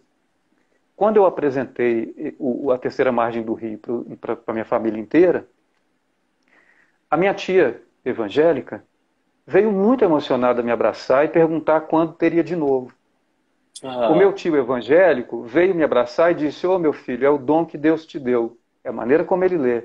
Mas ele estava comovido de ver a coisa acontecer. É, e eu vou te dizer: eu levou 18 anos eu trabalhando com arte para que eu fizesse um gesto de aproximação daquilo que eu faço para minha família evangélica. Nunca tinha feito um gesto de aproximação. É como se, ah, eles são evangélicos, eles não vão gostar disso, isso não é para eles. Então, então eu acho que tem. Eu estou falando do, do meu micro, mas porque esse micro me faz pensar em muitas questões. Né? O, o, o, tentando extrapolar num exercício de certa forma irresponsável, porque a vida é mais complexa e vai ter coisas aí que eu não conheço, mas olha, os pastores, exatamente porque estão vendendo e têm uma lucratividade imensa, assim como a indústria cultural, eles estão indo atrás de todo mundo. Eles querem todas as almas. E alguns por convicção mesmo, por acreditar que tem que salvar as almas para o reino de Deus. Né? É, eu, de certa maneira, a vida inteira na arte, eu tava, eu divulgava as minhas peças, convidava e etc. Mas sem ser tão impositivo. Não tenho coragem de fazer como um, um religioso que toca no interfone do outro para poder dar, dar a palavra. Eu não tenho coragem de mandar um vídeo meu pelo WhatsApp. Entende? Assim, eu deixo lá. Se a pessoa quiser, eu estou disponibilizando o melhor que eu tenho para que ela possa acessar, desde que ela escolha. Mas impor é muito difícil. Só que entre impor, de, entre impor e, convid, e divulgar, olha, entre impor, né, e, e, e só divulgar, que era o que eu fazia com as minhas peças para minha família, ou convidar amenamente para que a pessoa não, não se sentisse obrigada a ter que ver o que eu faço, poxa, você pode convidar, pelo menos para que ela saiba que você tem real interesse na presença dela. Enfim, entre uma coisa e outra, há um leque aí que se abre, talvez, no jeito desse approach. Não, não é à toa que tanta gente, em 2018, foi para as ruas para tentar conversar com as pessoas de tete a tete, para tentar ver se mudava o rumo do, do, do processo eleitoral. Do, né? É, enfim, a gente está falando de mundos muito diversos é, e de forças que estão disputando o tempo da pessoa. Os, porque a gente não pode esquecer. É, o tempo que a minha família, essa parte da família que eu estou dizendo, que talvez ela tenha, é, que ela possa se dedicar a algo que não seja o trabalho, alguém conseguiu conquistar esse tempo dela. E aí ela dedica para ir ao culto ou para ver o filme religioso as pessoas têm pouco tempo e têm que fazer escolhas. Elas, elas, eu vou, teve um ano que eu contei o número de peças de teatro que eu vi naquele ano. E eu acho que foram 87. É, olha, um cidadão comum que não faça parte do métier, ele não tem condições de ver 87 peças no ano, a não ser que porque não tem jeito. Ele, ele até poderia ver, se ele vê uma, se ele vir uma peça por mês, 12 por ano, já é um recorde. Foi a, foi a sua missa Exatamente. Eu, eu é porque é. Você fez é porque uma... não... eu, eu... Desculpa, Mas, não, desculpa, vai, não, vai. Não, não, não, eu vou ter que interromper porque é o seguinte: eu fiz uma pergunta típica do jornalista provocador e estou encantado com a sua resposta, porque foda-se as patrulhas, assim, eu, eu acho que a arte, ela, o engajamento da arte é pela arte. As pessoas ficam postando neutro é sabão, neutro sabão, eu acho que o artista ele deve a sua entrega à arte. É, é, claro que você não vai concordar com nenhuma atitude antidemocrática, fascista e tal, mas a, o livre-arbítrio, a escolha é, política, o, o assim, eu, eu, sempre dizia que na época botaram a classificação indicativa, eu ainda estava na TV Globo, e dizia assim, se pegasse e fosse filmar a Bíblia, era censura de 18 anos, né? Era assim, uhum. tudo que você puder imaginar. Tem incesto, fratricídio. É, assim, é, é uma, a tragédia humana censura 18 anos. Assim, eu, eu, muito bacana a sua postura e corajosa, porque se você não fizesse o discurso, é, digamos que se espera da classe artística, você seria patrulhado. Mas, não, mas olha, eu vou te dizer, é, é, claro que, que esse governo é um horror. Isso é porque isso já está dado, é, é, é, um fato. Né? É, eu preciso hoje é, tentar entender onde é que eu tento trazer para mim. É, eu entendo que algumas coisas são macroestruturais. Eu preciso entender como é que essas forças elas se manejam na sociedade. Mas se a gente não tentar entender no micro, eu passei dois meses agora na roça com a minha mãe, 70 dias. E, e, e foi é, bastante difícil assim perceber gente muito pobre bolsonarista, né? É, mas eu consigo, eu preciso fazer o exercício de tentar me colocar no lugar dele para entender daquela pessoa, daquela pessoa para entender o porquê que ela, o porquê, o que, do que, que ela está se alimentando de informação, de experiência de vida, o porquê que ela quer aquilo e não outra coisa que eu suponho que seja melhor para ela e para todos nós. Né? Esse exercício precisa ser feito, porque o meu voto vale tanto quanto o dele. É, e, e, é complexo, porque, olha, voltando no Mineirinho, é, a Clarice fala uma frase muito interessante. Ela diz assim: é, uma justiça que não se esqueça de que nossa grande luta é a do medo. E que um homem que mata muito é porque teve muito medo. Ela está hum. falando então do, do genocídio, ela está falando do homicida. E é isso. Um homem que mata muito. Mas olha como que essa frase também pode servir para Hitler.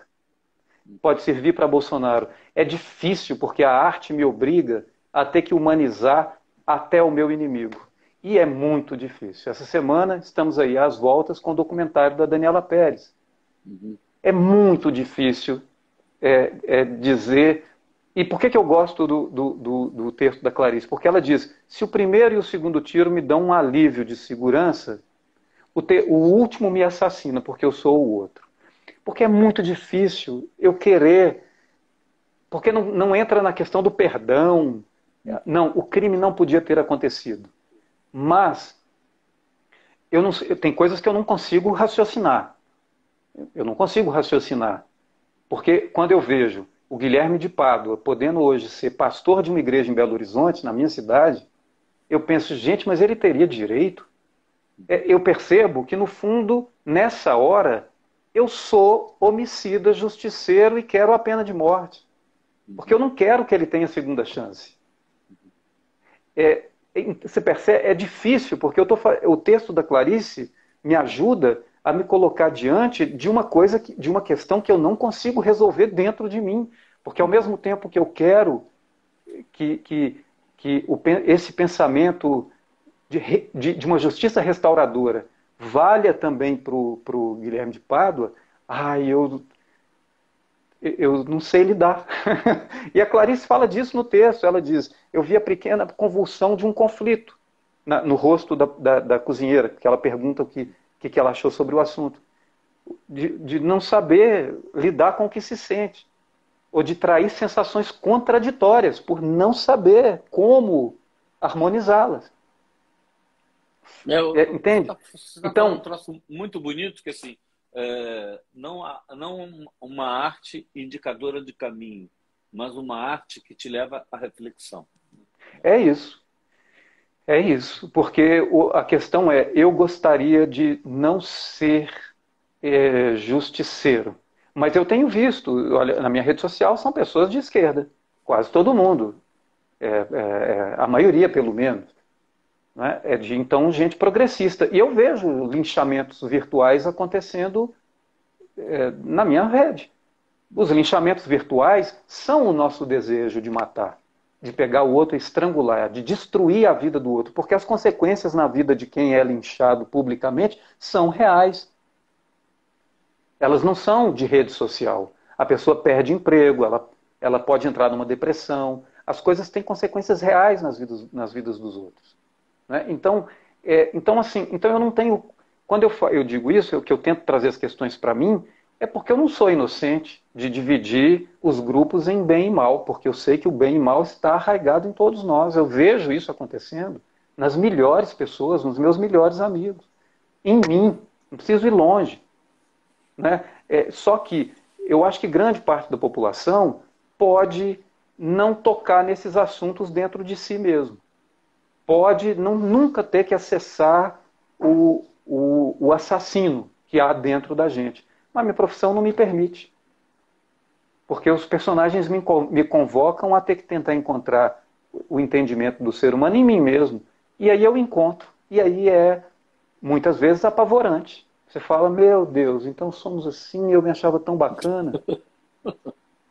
Você, você vai viajar com Herman Hesse. O tempo todo ele fala do personagem do, do, do lobo que caminha. Ai, meu Deus, vou dar spoiler. Que você caminha com um lobo dentro de você, entre outras coisas que ele tem. É... Enfim, já, o livro que eu mais reli e tal. Posso te explorar agora? Não, deixa eu só te falar mais uma coisa. É porque eu entrei nessa conversa do medo da Clarice uhum. para dizer: é, é, olha, é, é, tem essa população Assim, isso, é, isso, é uma, isso é só uma, uma pergunta que eu tenho para mim mesmo, viu, Elange? Mas essa população que apoia esse governo, olha, ela, ela, uma parte dela a gente sabe que é extremamente religiosa e tem muito medo do diabo. O diabo é essa figura que é a figura do medo. né, na, na, na religião. É lida dessa maneira. É, a gente tem uma, uma, um, um, jornalismo sensacionalista que, que, que, na minha adolescência foi era aqui agora que era o grande jornal sensacionalista e que me fez ter pesadelos por muitos meses porque eu fiquei viciado naquela adrenalina. E me fez muito mal muito mal. E foi fundamental eu ter assistido aquela porcaria de jornal na minha adolescência para eu entender que eu não gostaria de contribuir com a vida de um ser humano daquela forma ainda que pode ser que eu o faça. Então eu tenho que até ter a humildade de entender que pode ser que em algum momento na minha vida de ator eu faça um produto ficcional que gere no ser humano uma química que reaja o corpo do espectador da mesma forma como que agora fazia reagir o meu corpo. Então é difícil eu jogar qualquer pedra. Eu espero que eu não faça isso. Mas pode acontecer. Pode acontecer. É, e aí, quando eu penso na estrutura do medo, eu, eu lembro muito do, do, do documentário do Michael Moore, do, do Tiros em Columbine, quando ele uhum. vai mostrando como que a, a, a, como que a notícia do. Olha, eu morava numa cidade que, que, que não tinha assaltos, roubos, sequestro, nunca, tive, nunca teve um sequestro. E eu vivia em pânico, com medo de ser assaltado, com medo de ser, de ser sequestrado, porque via aqui agora, morando lá em Novo Cruzeiro. Né? E criava para mim essa narrativa dentro da cabeça, uma sensação de medo é, constante. É, de uma coisa que, cara, naquela cidade não era real. Não era real. E isso, é, eu acho que tem uma população que ela vive governada pelo medo. Brecht fala que foram lá no Terceiro Reich ver quem, e, e perguntaram quem governa o Terceiro Reich. E a pessoa voltou e respondeu: quem governa o Terceiro Reich é o medo. Então, quando Clarice diz um homem que mata demais é porque teve muito medo, você imagina, você tem uma população querendo se armar no país. Você se arma para quê? Você se arma é para matar. Eu me pergunto, eles estão com medo de quê? É medo de uma invasão zumbi? É medo de que haja divisão de renda? É, me... é medo, mas é sempre o medo. Então, eu acho que é, quando eu penso. É, se a gente pensa que para resolver isso, não, não, a gente não pensa no, no genocídio, né? Na nossa cabeça, numa cabeça progressista, numa cabeça humanista, você não pensa que um jeito de resolver essa sociedade é matar essa parcela que, que não faz parte do nosso projeto.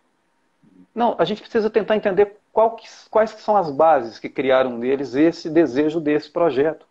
E eu acho que o medo é uma dessas bases. Porque é medo de tudo, é medo do diabo, é medo de perder o emprego, é medo de passar fome. E no projeto deles, se você não for um vencedor. Nesse projeto deles, não, porque a gente está vivendo esse projeto. Se você não tiver. Um... Se você não ganhar muito dinheiro, você vai passar fome.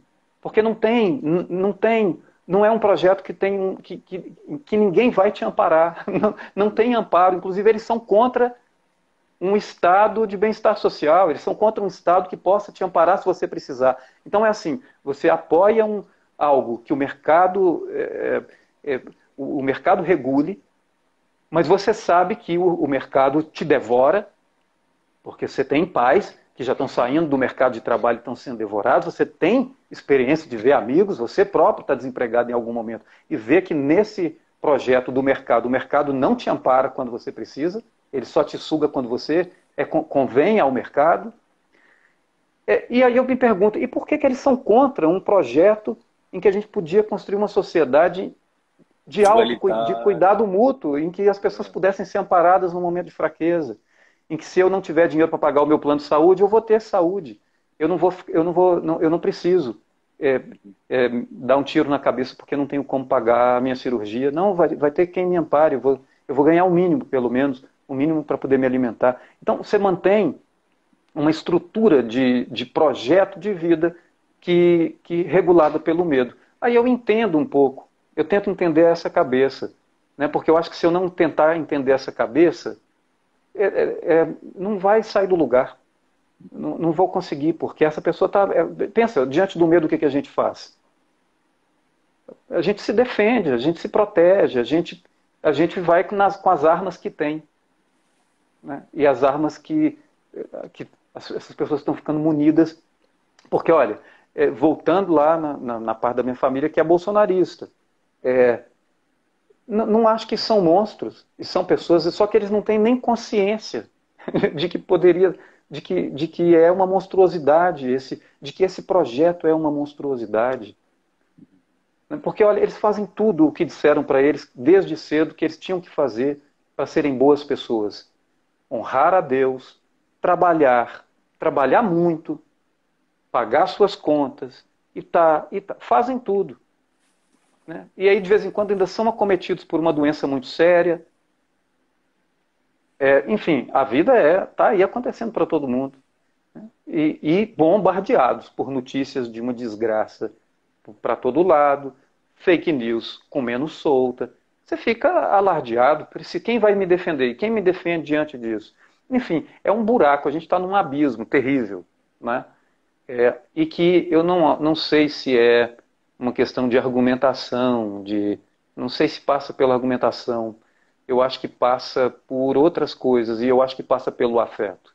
Eu acho que passa acho que passa por argumentação também. Precisa de tudo. Todo mundo tem que jogar em todas as posições que existem. Todos são muito importantes. Mas é, é, eu não sei. Eu guardei uma esperançazinha, uma chama pequena, mas uma esperança nesse dia, nessa experiência lá com a minha família, que foi de perceber que Olha, foi bonito o meu time abraçar e me dizer, ô oh, meu filho, é o dom que Deus te deu. Ele vai uhum. resolver. Né? Para ele é isso, talvez seja.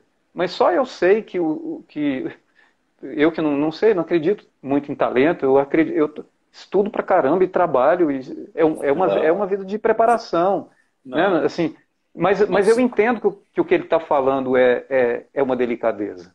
Eu, eu acolho.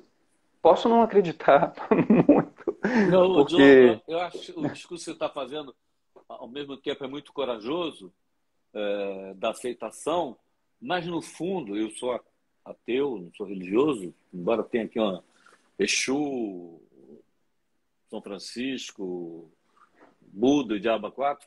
Diabo não, diabo não tem, tem o diabo que é o Exu. O diabo é uma criação de Deus, né? É, mas é um princípio elementar do cristianismo que é odeia o pecado e ama o pecador. É, é, isso que você está falando é um troço é, ao mesmo tempo corajoso, ao mesmo tempo muito fraterno e compreensível, e que está falando um pouquinho além disso, que é de amor. Né? O que está faltando é, é, é, amor. Posso te explorar? Claro, claro. Então, assim, eu não sei se você guardou, já estouramos todos os horários, mas para mim que se dane. Eu, eu ia fazer um negócio que eu testei de, é, um pouquinho antes, que eu queria me apagar é, nesse período que eu vou te pedir os textos, mas não funciona até porque depois eu não consigo nem apertar os botões. Então as pessoas vão ter que me aturar em cima. A banda. A banda. A banda do Chico Buarque. É, estava à toa na vida e o meu amor me chamou para ver a banda passar, cantando coisas de amor. A minha gente, sofrida, despediu-se da dor para ver a banda passar cantando coisas de amor. O homem sério que contava dinheiro parou. O faroleiro que contava vantagens parou. A namorada que contava as estrelas parou para ver, ouvir e dar passagem. A moça triste, que vivia calada, sorriu. A rosa triste, que vivia fechada, se abriu. E a meninada toda se enfeitou para ver a banda passar cantando coisas de amor. O velho, fraco, se esqueceu do cansaço e pensou que ainda era moço para sair no terraço e dançou. A moça feia debruçou na janela, pensando que a banda tocava para ela. A marcha alegre se espalhou na avenida, insistiu. A lua cheia que vivia escondida surgiu. Minha cidade toda se enfeitou para ver a banda passar cantando coisas de amor. Mas para o meu desencanto, o que era doce acabou. Tudo tomou seu lugar depois que a banda passou, e cada qual no seu canto. Em cada canto, uma dor. Depois da banda passar cantando coisas de amor. E, e, o Chico fala que não é poeta, né? O Chico fala que não é poeta, que, ele faz letra, letra de música. É, eu sempre digo, é meu predileto, meu predileto, segunda exploração. Poema em linha reta, Fernando Pessoa. Poema em linha reta do Fernando Pessoa. Esse, esse, esse tem tudo a ver com o Instagram, né?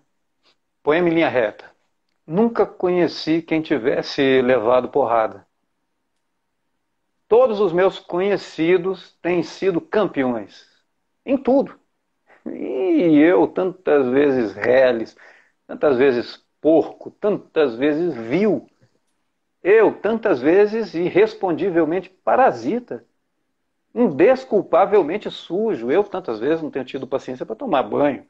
Eu, que tantas vezes tenho sido ridículo, absurdo, que tenho enrolado os pés publicamente nos tapetes das etiquetas, que tenho sido grotesco, mesquinho, submisso e arrogante, que tenho sofrido enxovalhos e calado, que quando não tenho calado tenho sido mais ridículo ainda.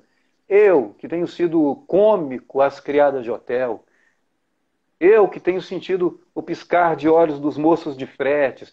Eu, que tenho feito vergonhas financeiras, pedido emprestado sem pagar. Eu, que quando a hora do soco surgiu, me tenho agachado para fora da possibilidade do soco. Eu, que tenho sofrido a angústia das pequenas coisas ridículas, eu verifico que não tenho par nisso tudo nesse mundo. Toda a gente que eu conheço e que fala comigo nunca teve um ato ridículo. Nunca sofreu enxovário, nunca foi senão príncipe. Todos eles, príncipes na vida. Quem me dera ouvir de alguém a voz humana que, que confessasse não um pecado, mas uma infâmia. Que contasse não uma violência, mas uma covardia. Não. São todos o ideal, se os ouço e me falam. Quem há nesse largo mundo que me confesse que uma vez foi vil, ah, príncipes, meus irmãos, ah, estou farto de semideuses. Ah, onde é que há gente no mundo então sou só eu que é vil e errôneo nessa terra? Poderão as mulheres não os terem amado, podem ter sido traídos, mas ridículos nunca. E eu, que tenho sido ridículo sem ter sido traído, como posso eu falar com os meus superiores sem titubear? Eu que tenho sido vil. Literalmente vil. Vil no sentido mesquinho e infame da vileza. Bom. Esse é demais, né? Não, Esse mas é demais. É demais. Ele é demais, mas você é demais porque é o seguinte, é só que eu fiquei encantado desde o primeiro momento, assim, você sempre tem aquela... É claro, você tem outros grandes intérpretes, assim, a poesia, assim, você, ouvindo você, banda, é, Fernando Pessoa, Brecht e tal, parece que você está sentado com alguém no botequim e tal, e a pessoa está falando, no, você, enfim, quando eu vi esse outro, esse outro, eu escrevi uma peça, das várias que eu fiz, a única que foi montada, chama Agora e na Hora, que é a história de um padre que ele descobre que ele está com uma doença terminal e ele se revolta contra Deus. Então a peça toda ele, ele tentando achar um, um Deus, ele, ele, ele permeia por várias religiões e tal, até que chega no final e não vou dar spoiler, ele meio que encontra com Deus e as pessoas ficam indicando é, o que ele deveria fazer, o que ele deveria fazer. Aí foi o Walter Lima Júnior, grande diretor, que ele falou assim: sabe que ele poderia recitar antes do encontro ou não encontro com Deus? O Cântico Negro do José Régio. Aí é o seguinte: eu não conheci esse troço tem um tempão. Tem, tá aí na tua cabeça? Tenho. Esse também. José Régio. Cântico Negro.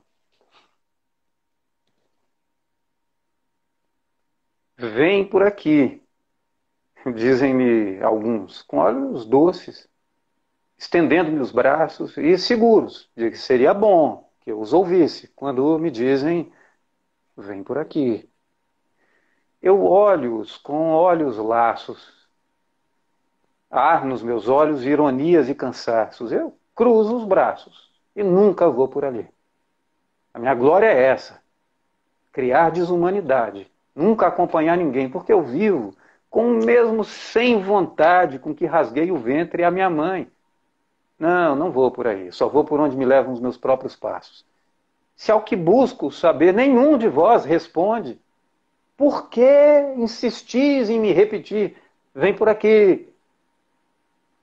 Eu prefiro escorregar nos becos lamacentos, redemunhar aos ventos, como farrapos arrastar os pés sangrentos aí por aí. Se eu vim ao mundo, foi só para desflorar florestas virgens e desenhar os meus próprios pés na areia inexplorada. O mais que eu faço não vale nada.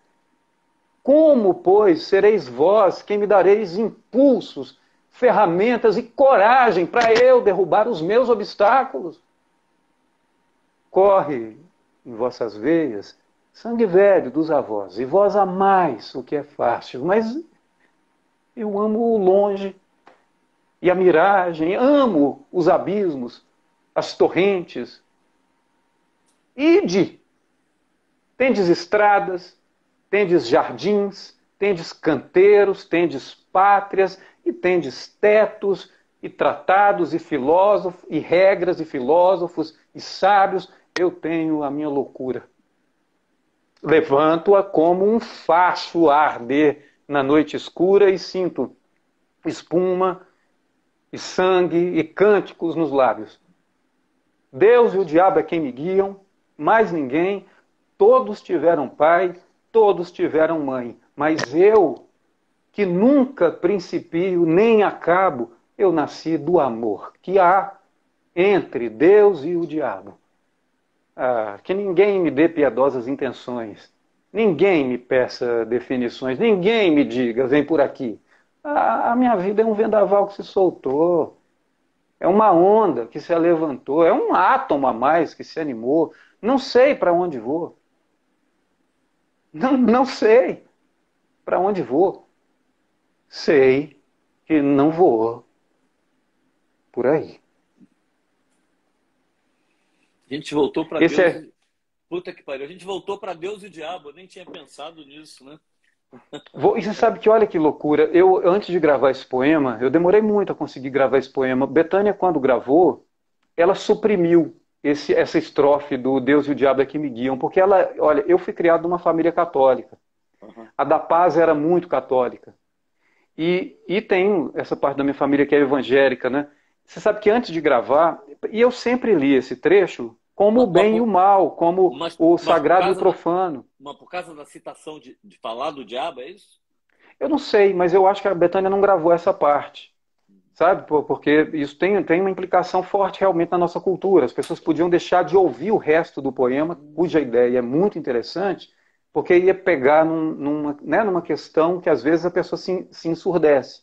Talvez tenha sido isso, talvez ela tenha tido a mesma leitura do bem e do mal, do, do sagrado e profano e tudo, mas achou melhor não gravar. Pode, não sei o que foi. Mas eu, eu, eu gosto de gravar as coisas na íntegra, né? Quando não é romance. Quando é poema e quando é, quando é conto, eu gosto de fazer na íntegra.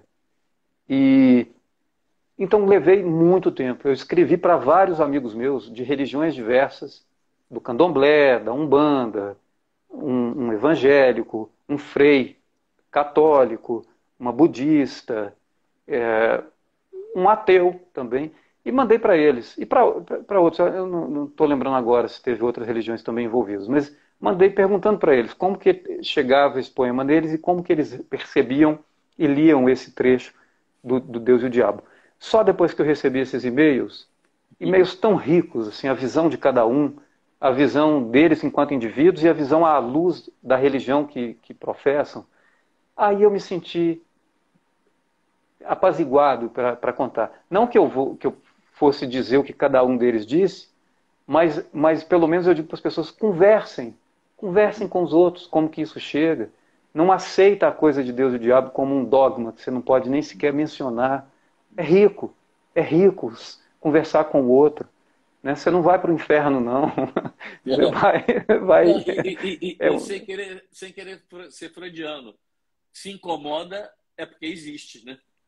senão, senão não incomodaria. E você vem me dizer que não é talento, é trabalho, dedicação. Puta que pariu, um texto desse, desse tamanho, faz salta um, um Sérgio Regis, você faz maravilhosamente bem. É, é, eu queria encerrar com Clarice, mas antes, eu queria que você falasse sobre o espetáculo na sala com Clarice, como é que ele está, como é que está funcionando. Aí depois a gente vai, vai, vai encerrar com ela. Fala tá aí bem. como é que é. Olha, eu estou em cartaz com uma peça, quero convidar vocês que estão aí acompanhando a nossa live. Eu estou em cartaz com uma peça online, uma peça literária online, chamada Na Sala com Clarice. Eu apresento aqui da minha casa, ao vivo.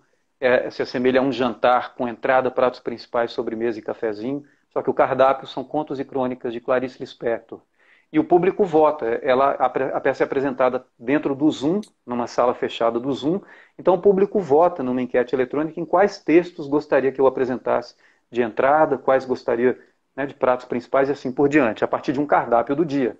Tem, é um restaurante que tem o cardápio do dia.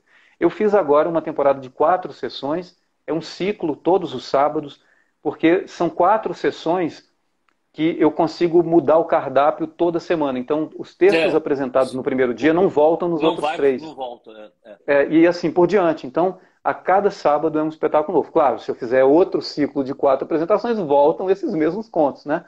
Mas é, eu mudo de ordem para poder sempre ter a gente né, sempre ter um cardápio novo, uma, uma um, um percurso diferente naqueles dias. E se, só tem mais duas apresentações, nesse sábado, às 8 da noite, sábado que vem. Os ingressos podem ser adquiridos na Simpla, é, é simples de achar lá. E, e tem inteira e meia, a gente não tem como. É, você pode escolher o valor a pagar, porque é, é, é, ainda mais que não, nem tem como a gente. Não teria como a gente conferir. E como cada um sabe como é que está né, a situação econômica nesse momento de pandemia e tudo, você pode escolher um dos dois valores, inteira ou meia. É... E é isso. A peça está indo, já estre... eu estreei ano passado, em dezembro, nas comemorações do centenário da Clarice. Inicialmente ela foi patrocinada pelo Banco do Brasil, fez parte da programação do CCBB, que é o Centro Cultural Banco do Brasil, mas desde setembro que eu resolvi fazer uma temporada independente mesmo, com com, ah, pela, pela bilheteria. Continua com o logotipo do Banco do Brasil. É porque o banco, ele agora é, um, ele é o apoiador institucional. Ele não é mais o patrocinador, mas por contrato, né? Ainda depois de um ano depois do, de que encerra, ele continua, a gente continua mencionando ah, ele não acho, mais como, acho, é como patrocinador. é, é sim, porque a peça só existe porque ele patrocinou a criação merecido, dela, né? Então, merecido. Eu acho que podia, inclusive, eh, o banco só exigir isso por um ano, mas é, eu acho que seria justo que ele continuasse sendo mantido como a pessoa que patrocinou a criação da peça, né? Que é, que é um primeiro, um primeiro investimento muito alto, né? É, eu, eu tive na, na, numa das primeiras salas aí da sua é, é, é uma espetáculo de novo, essa coisa meio doida, que você bota um cardápio, você não sabe qual vai ser o texto do dia e o que passa pela sua frente, você falando rudemente, você mata no peito e sai, e, e, e sai jogando. Clarice, para a gente encerrar, você vai vir com o texto ou, ou, ou vai propor para a galera escolher? Olha, aqui vai ser talvez difícil das pessoas votarem, mas quem sabe você escolhe. Acho que vai ser mais. A gente, já, a gente já perdeu aqui. Eu não, eu não consegui acompanhar as mensagens das pessoas. Eu sou péssimo eu, eu também é. sou péssimo nisso, eu não consigo ver. Olha, eu vou te dar duas, vou te dar duas opções e você escolhe. Pode ser? Como dono da live, agora vou exercer o meu direito. Olha, um pode ser uma crônica de Clarice que se chama O que eu queria ter sido e a outra se chama a opinião de um analista sobre mim. Ah, não, só, só um minutinho. Eu acho que entrou alguma coisa, um abraço do ponto. Será que é o pessoal do ponto de partida? E também é um. Você tem alguma relação com eles? É um. Muito, adoro o pessoal do ponto. O ponto é, é, é o grupo mais longevo de Minas. Eu vou te falar o seguinte: você sabe que no, no meu, no meu período, antes que eu morra, eu, eu tive contato que na época da Globo eu dava muito espaço para. A Globo dava muito espaço para teatro e tal, e não era só do elenco e tal. Aí eu descobri esses caras, eu fiquei alucinado, eu fiquei tão louco com eles, que no meu lançamento do meu primeiro livro, eu fiz um lançamento em, no, no, ponto de partida. Fui a Barbacena. Eu quis que demais! De conhecer os caras aí. Mas, tipo assim, um abraço do ponto. Deve ser esse povo, né? Estão, será que eles estão aí? Que lindeza! Alguém botou aí um abraço do ponto. Mas vamos lá, quais são os dois textos? A crônica. Olha, as, são duas crônicas. Uma é o que eu queria ter sido e a outra é, é a opinião de um analista sobre mim. Não, não tem dúvida que é o, o que eu queria ter sido, que é o que eu me penso o tempo todo. O que eu queria ter sido? É. Então a Clarice escreve o seguinte: é, um nome para o que eu sou importa muito pouco. Importa o que eu gostaria de ser. E o que eu gostaria de ser era uma lutadora. Quero dizer, uma pessoa que luta pelo bem dos outros. Isso desde pequena eu quis. Por quê? Foi o destino me levando a escrever o que já escrevi, em vez de também desenvolver em mim a qualidade de lutadora que eu tinha. Em pequena, minha família, por brincadeira, chamava-me de a protetora dos animais. Porque bastava acusarem uma pessoa para eu imediatamente defendê-la. E eu sentia o drama social com tanta intensidade que vivia de coração perplexo diante das grandes injustiças a que são submetidas as chamadas classes menos privilegiadas. Em Recife, eu ia aos domingos visitar a casa de nossa empregada, nos Mocambos. E o que eu via? Me fazia como que me prometer que eu não deixaria aquilo continuar. Eu queria agir. Em Recife, onde morei até 12 anos de idade, havia muitas vezes nas ruas um aglomerado de pessoas diante das quais alguém discursava ardorosamente sobre a tragédia social. E lembro-me de como eu vibrava e de como eu me prometia que um dia essa seria a minha tarefa, a de defender os direitos dos outros. E, no entanto, o que terminei sendo, e tão cedo, terminei sendo uma pessoa que procura o que profundamente se sente e usa a palavra que o exprima.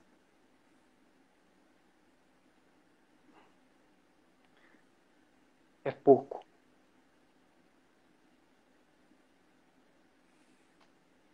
É muito pouco.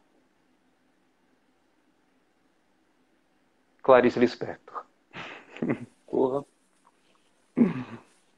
Caramba. É bonito, é, né? É, é, é, não, além de, da, da minha descoberta. Estou falando antes de começar a live. Eu paguei um mico, eu fiquei algum tempo fora do Brasil, não conhecia o teu trabalho, o Calone mandou. Aí eu fiquei com meus artistas. Olha esse cara! Imagina, conheço, é um gênio. Olha esse cara!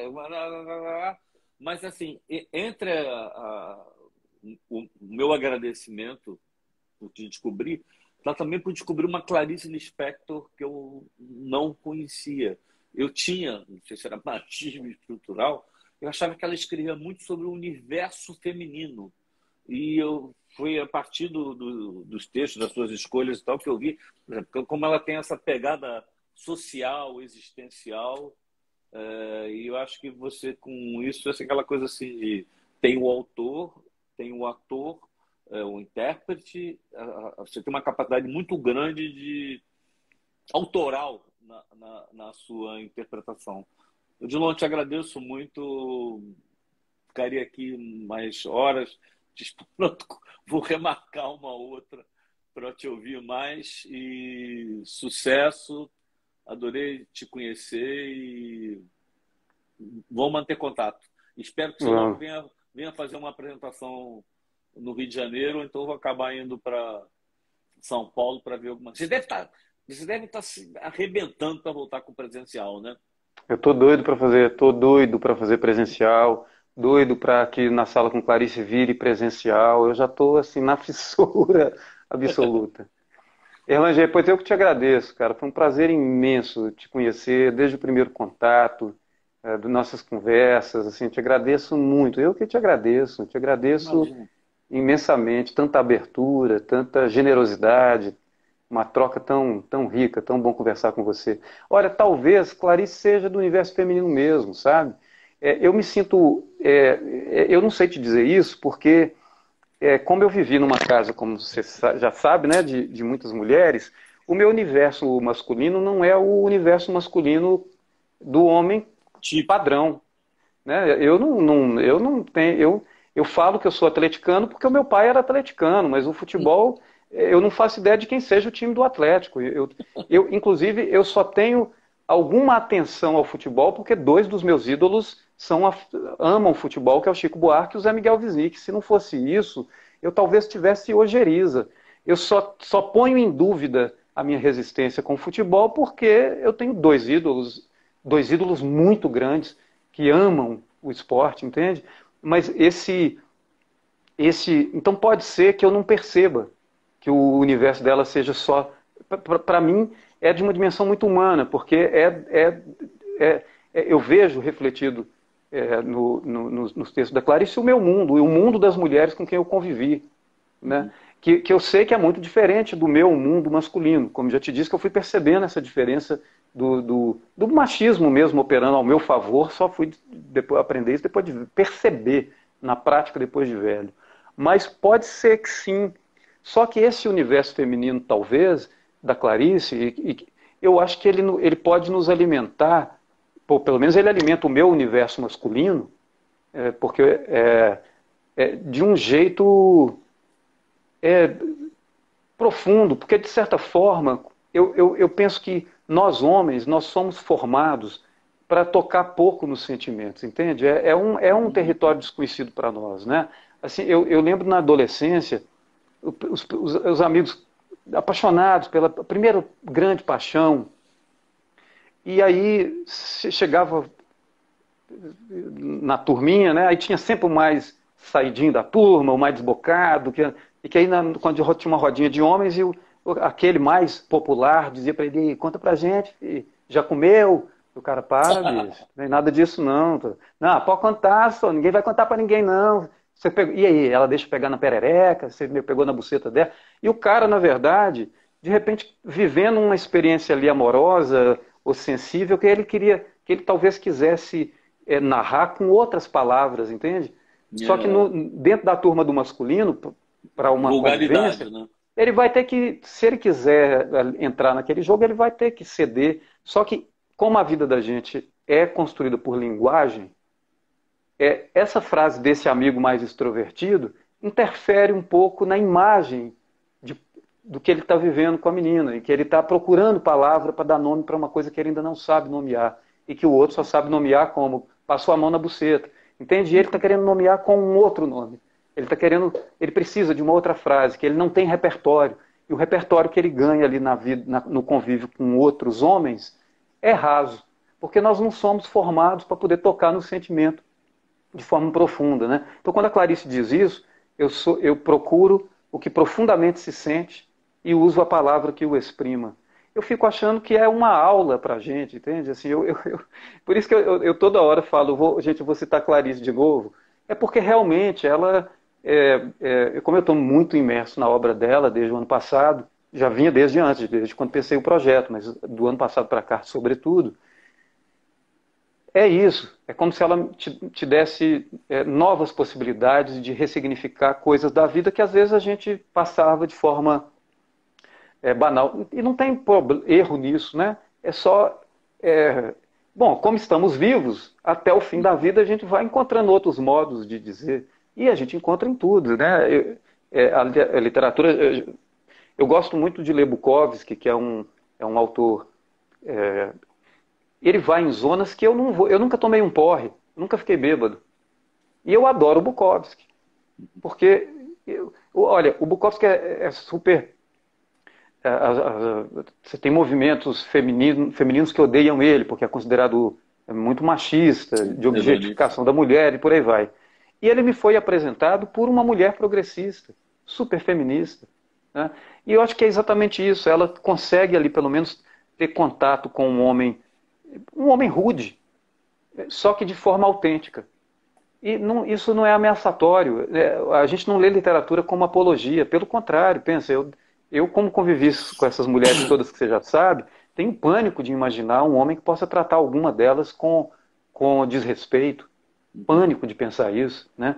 É, agora, não, não queria que elas nunca namorassem um Bukowski. mas, mas, ao mesmo tempo, eu adoro conhecer o Bukowski. E ele me leva a lugares da vida que eu sei que talvez nessa vida eu não vou. Não vai nem dar tempo. dentro do infinito de possibilidades, não vai dar tempo. E talvez eu nem queira, eu já me satisfaça em conhecer o mundo do Bukowski virtualmente através da, da, da, da literatura. E quem vai dizer que é virtual? que não é real, né? Virtual não, que não é real a experiência de imaginar aquele mundo que o Bukowski está me descrevendo com tanta autenticidade. Poxa, eu, eu, eu, eu, eu Riobaldo Guimarães Rosa, é eu, eu tenho ele dentro de mim como uma figura que eu conheci, como se eu tivesse realmente o conhecido. E ele é da ficção, mas é, é da ficção, não é, não é real também dentro de mim. Olha, é, é, as imagens desse filho encontrando um bloco de gelo com o pai congelado aos 27 de anos, essa imagem é muito real dentro da minha cabeça. Ela, ela, eu, eu, uma vez que li no seu livro e imaginei, ela é tão real quanto as imagens que eu tenho do que eu vivi. Claro que eu sei distinguir, eu não sou, né, eu sei dizer é uma imagem real, só que ela foi criada, ela é fictícia. Você leu num livro, você não presenciou isso mas ela é real. Né? A arte dá para a gente isso. Né? Você está me obrigando de novo a falar? Já, eu queria terminar, mas não é impossível, cara. Você é tão interessante. Porque é o seguinte: a, a, a, a cena do livro ela é irreal, mas eu me baseei numa história verdadeira em que uma expedição não sei onde, acho que numa geleira do Chile, se não é que é, eles vão quebrando, vão quebrando e encontram, e encontram uma pessoa morta aos 30 e poucos anos. Então ela estava ali com 30 e poucos anos. Foi uma inspiração que eu fiz. Aí eu fiz uma história do filho encontrando o pai e tal. Mas querendo voltar que você está falando da Clarice, e eu, eu tinha um período, minha mãe morreu, que eu só tinha mãe, irmã, sobrinhas e filhas. Eu tenho quatro filhas. Mas acho que a gente, sem demagogia, é é que o universo feminino é muito mais grandioso do que o universo masculino. A gente, é, assim, é, eu acho até que a saída da humanidade vai ser através das mulheres, assim, é, é, não é uma questão da matéria, assim, é uma coisa que a gente tem que aprender e nós homens, você foi criado no meio de mulheres, eu tal, é um aprendizado é, diário. E você me abriu isso da Clarice de uma maneira que eu nunca tinha percebido. Odilon, eu te agradeço muito, mais uma vez. E, sem ser papo de carioca, espero que a gente se encontre por aí. Obrigado. Espero também. Muito obrigado. Um grande abraço. Grande abraço. Obrigado por quem acompanhou a gente até agora. Um abraço. Valeu, cara. Eu vou te mandar o link depois para caso você queira usar. Tá legal. Muito obrigado. Um abraço. Tchau.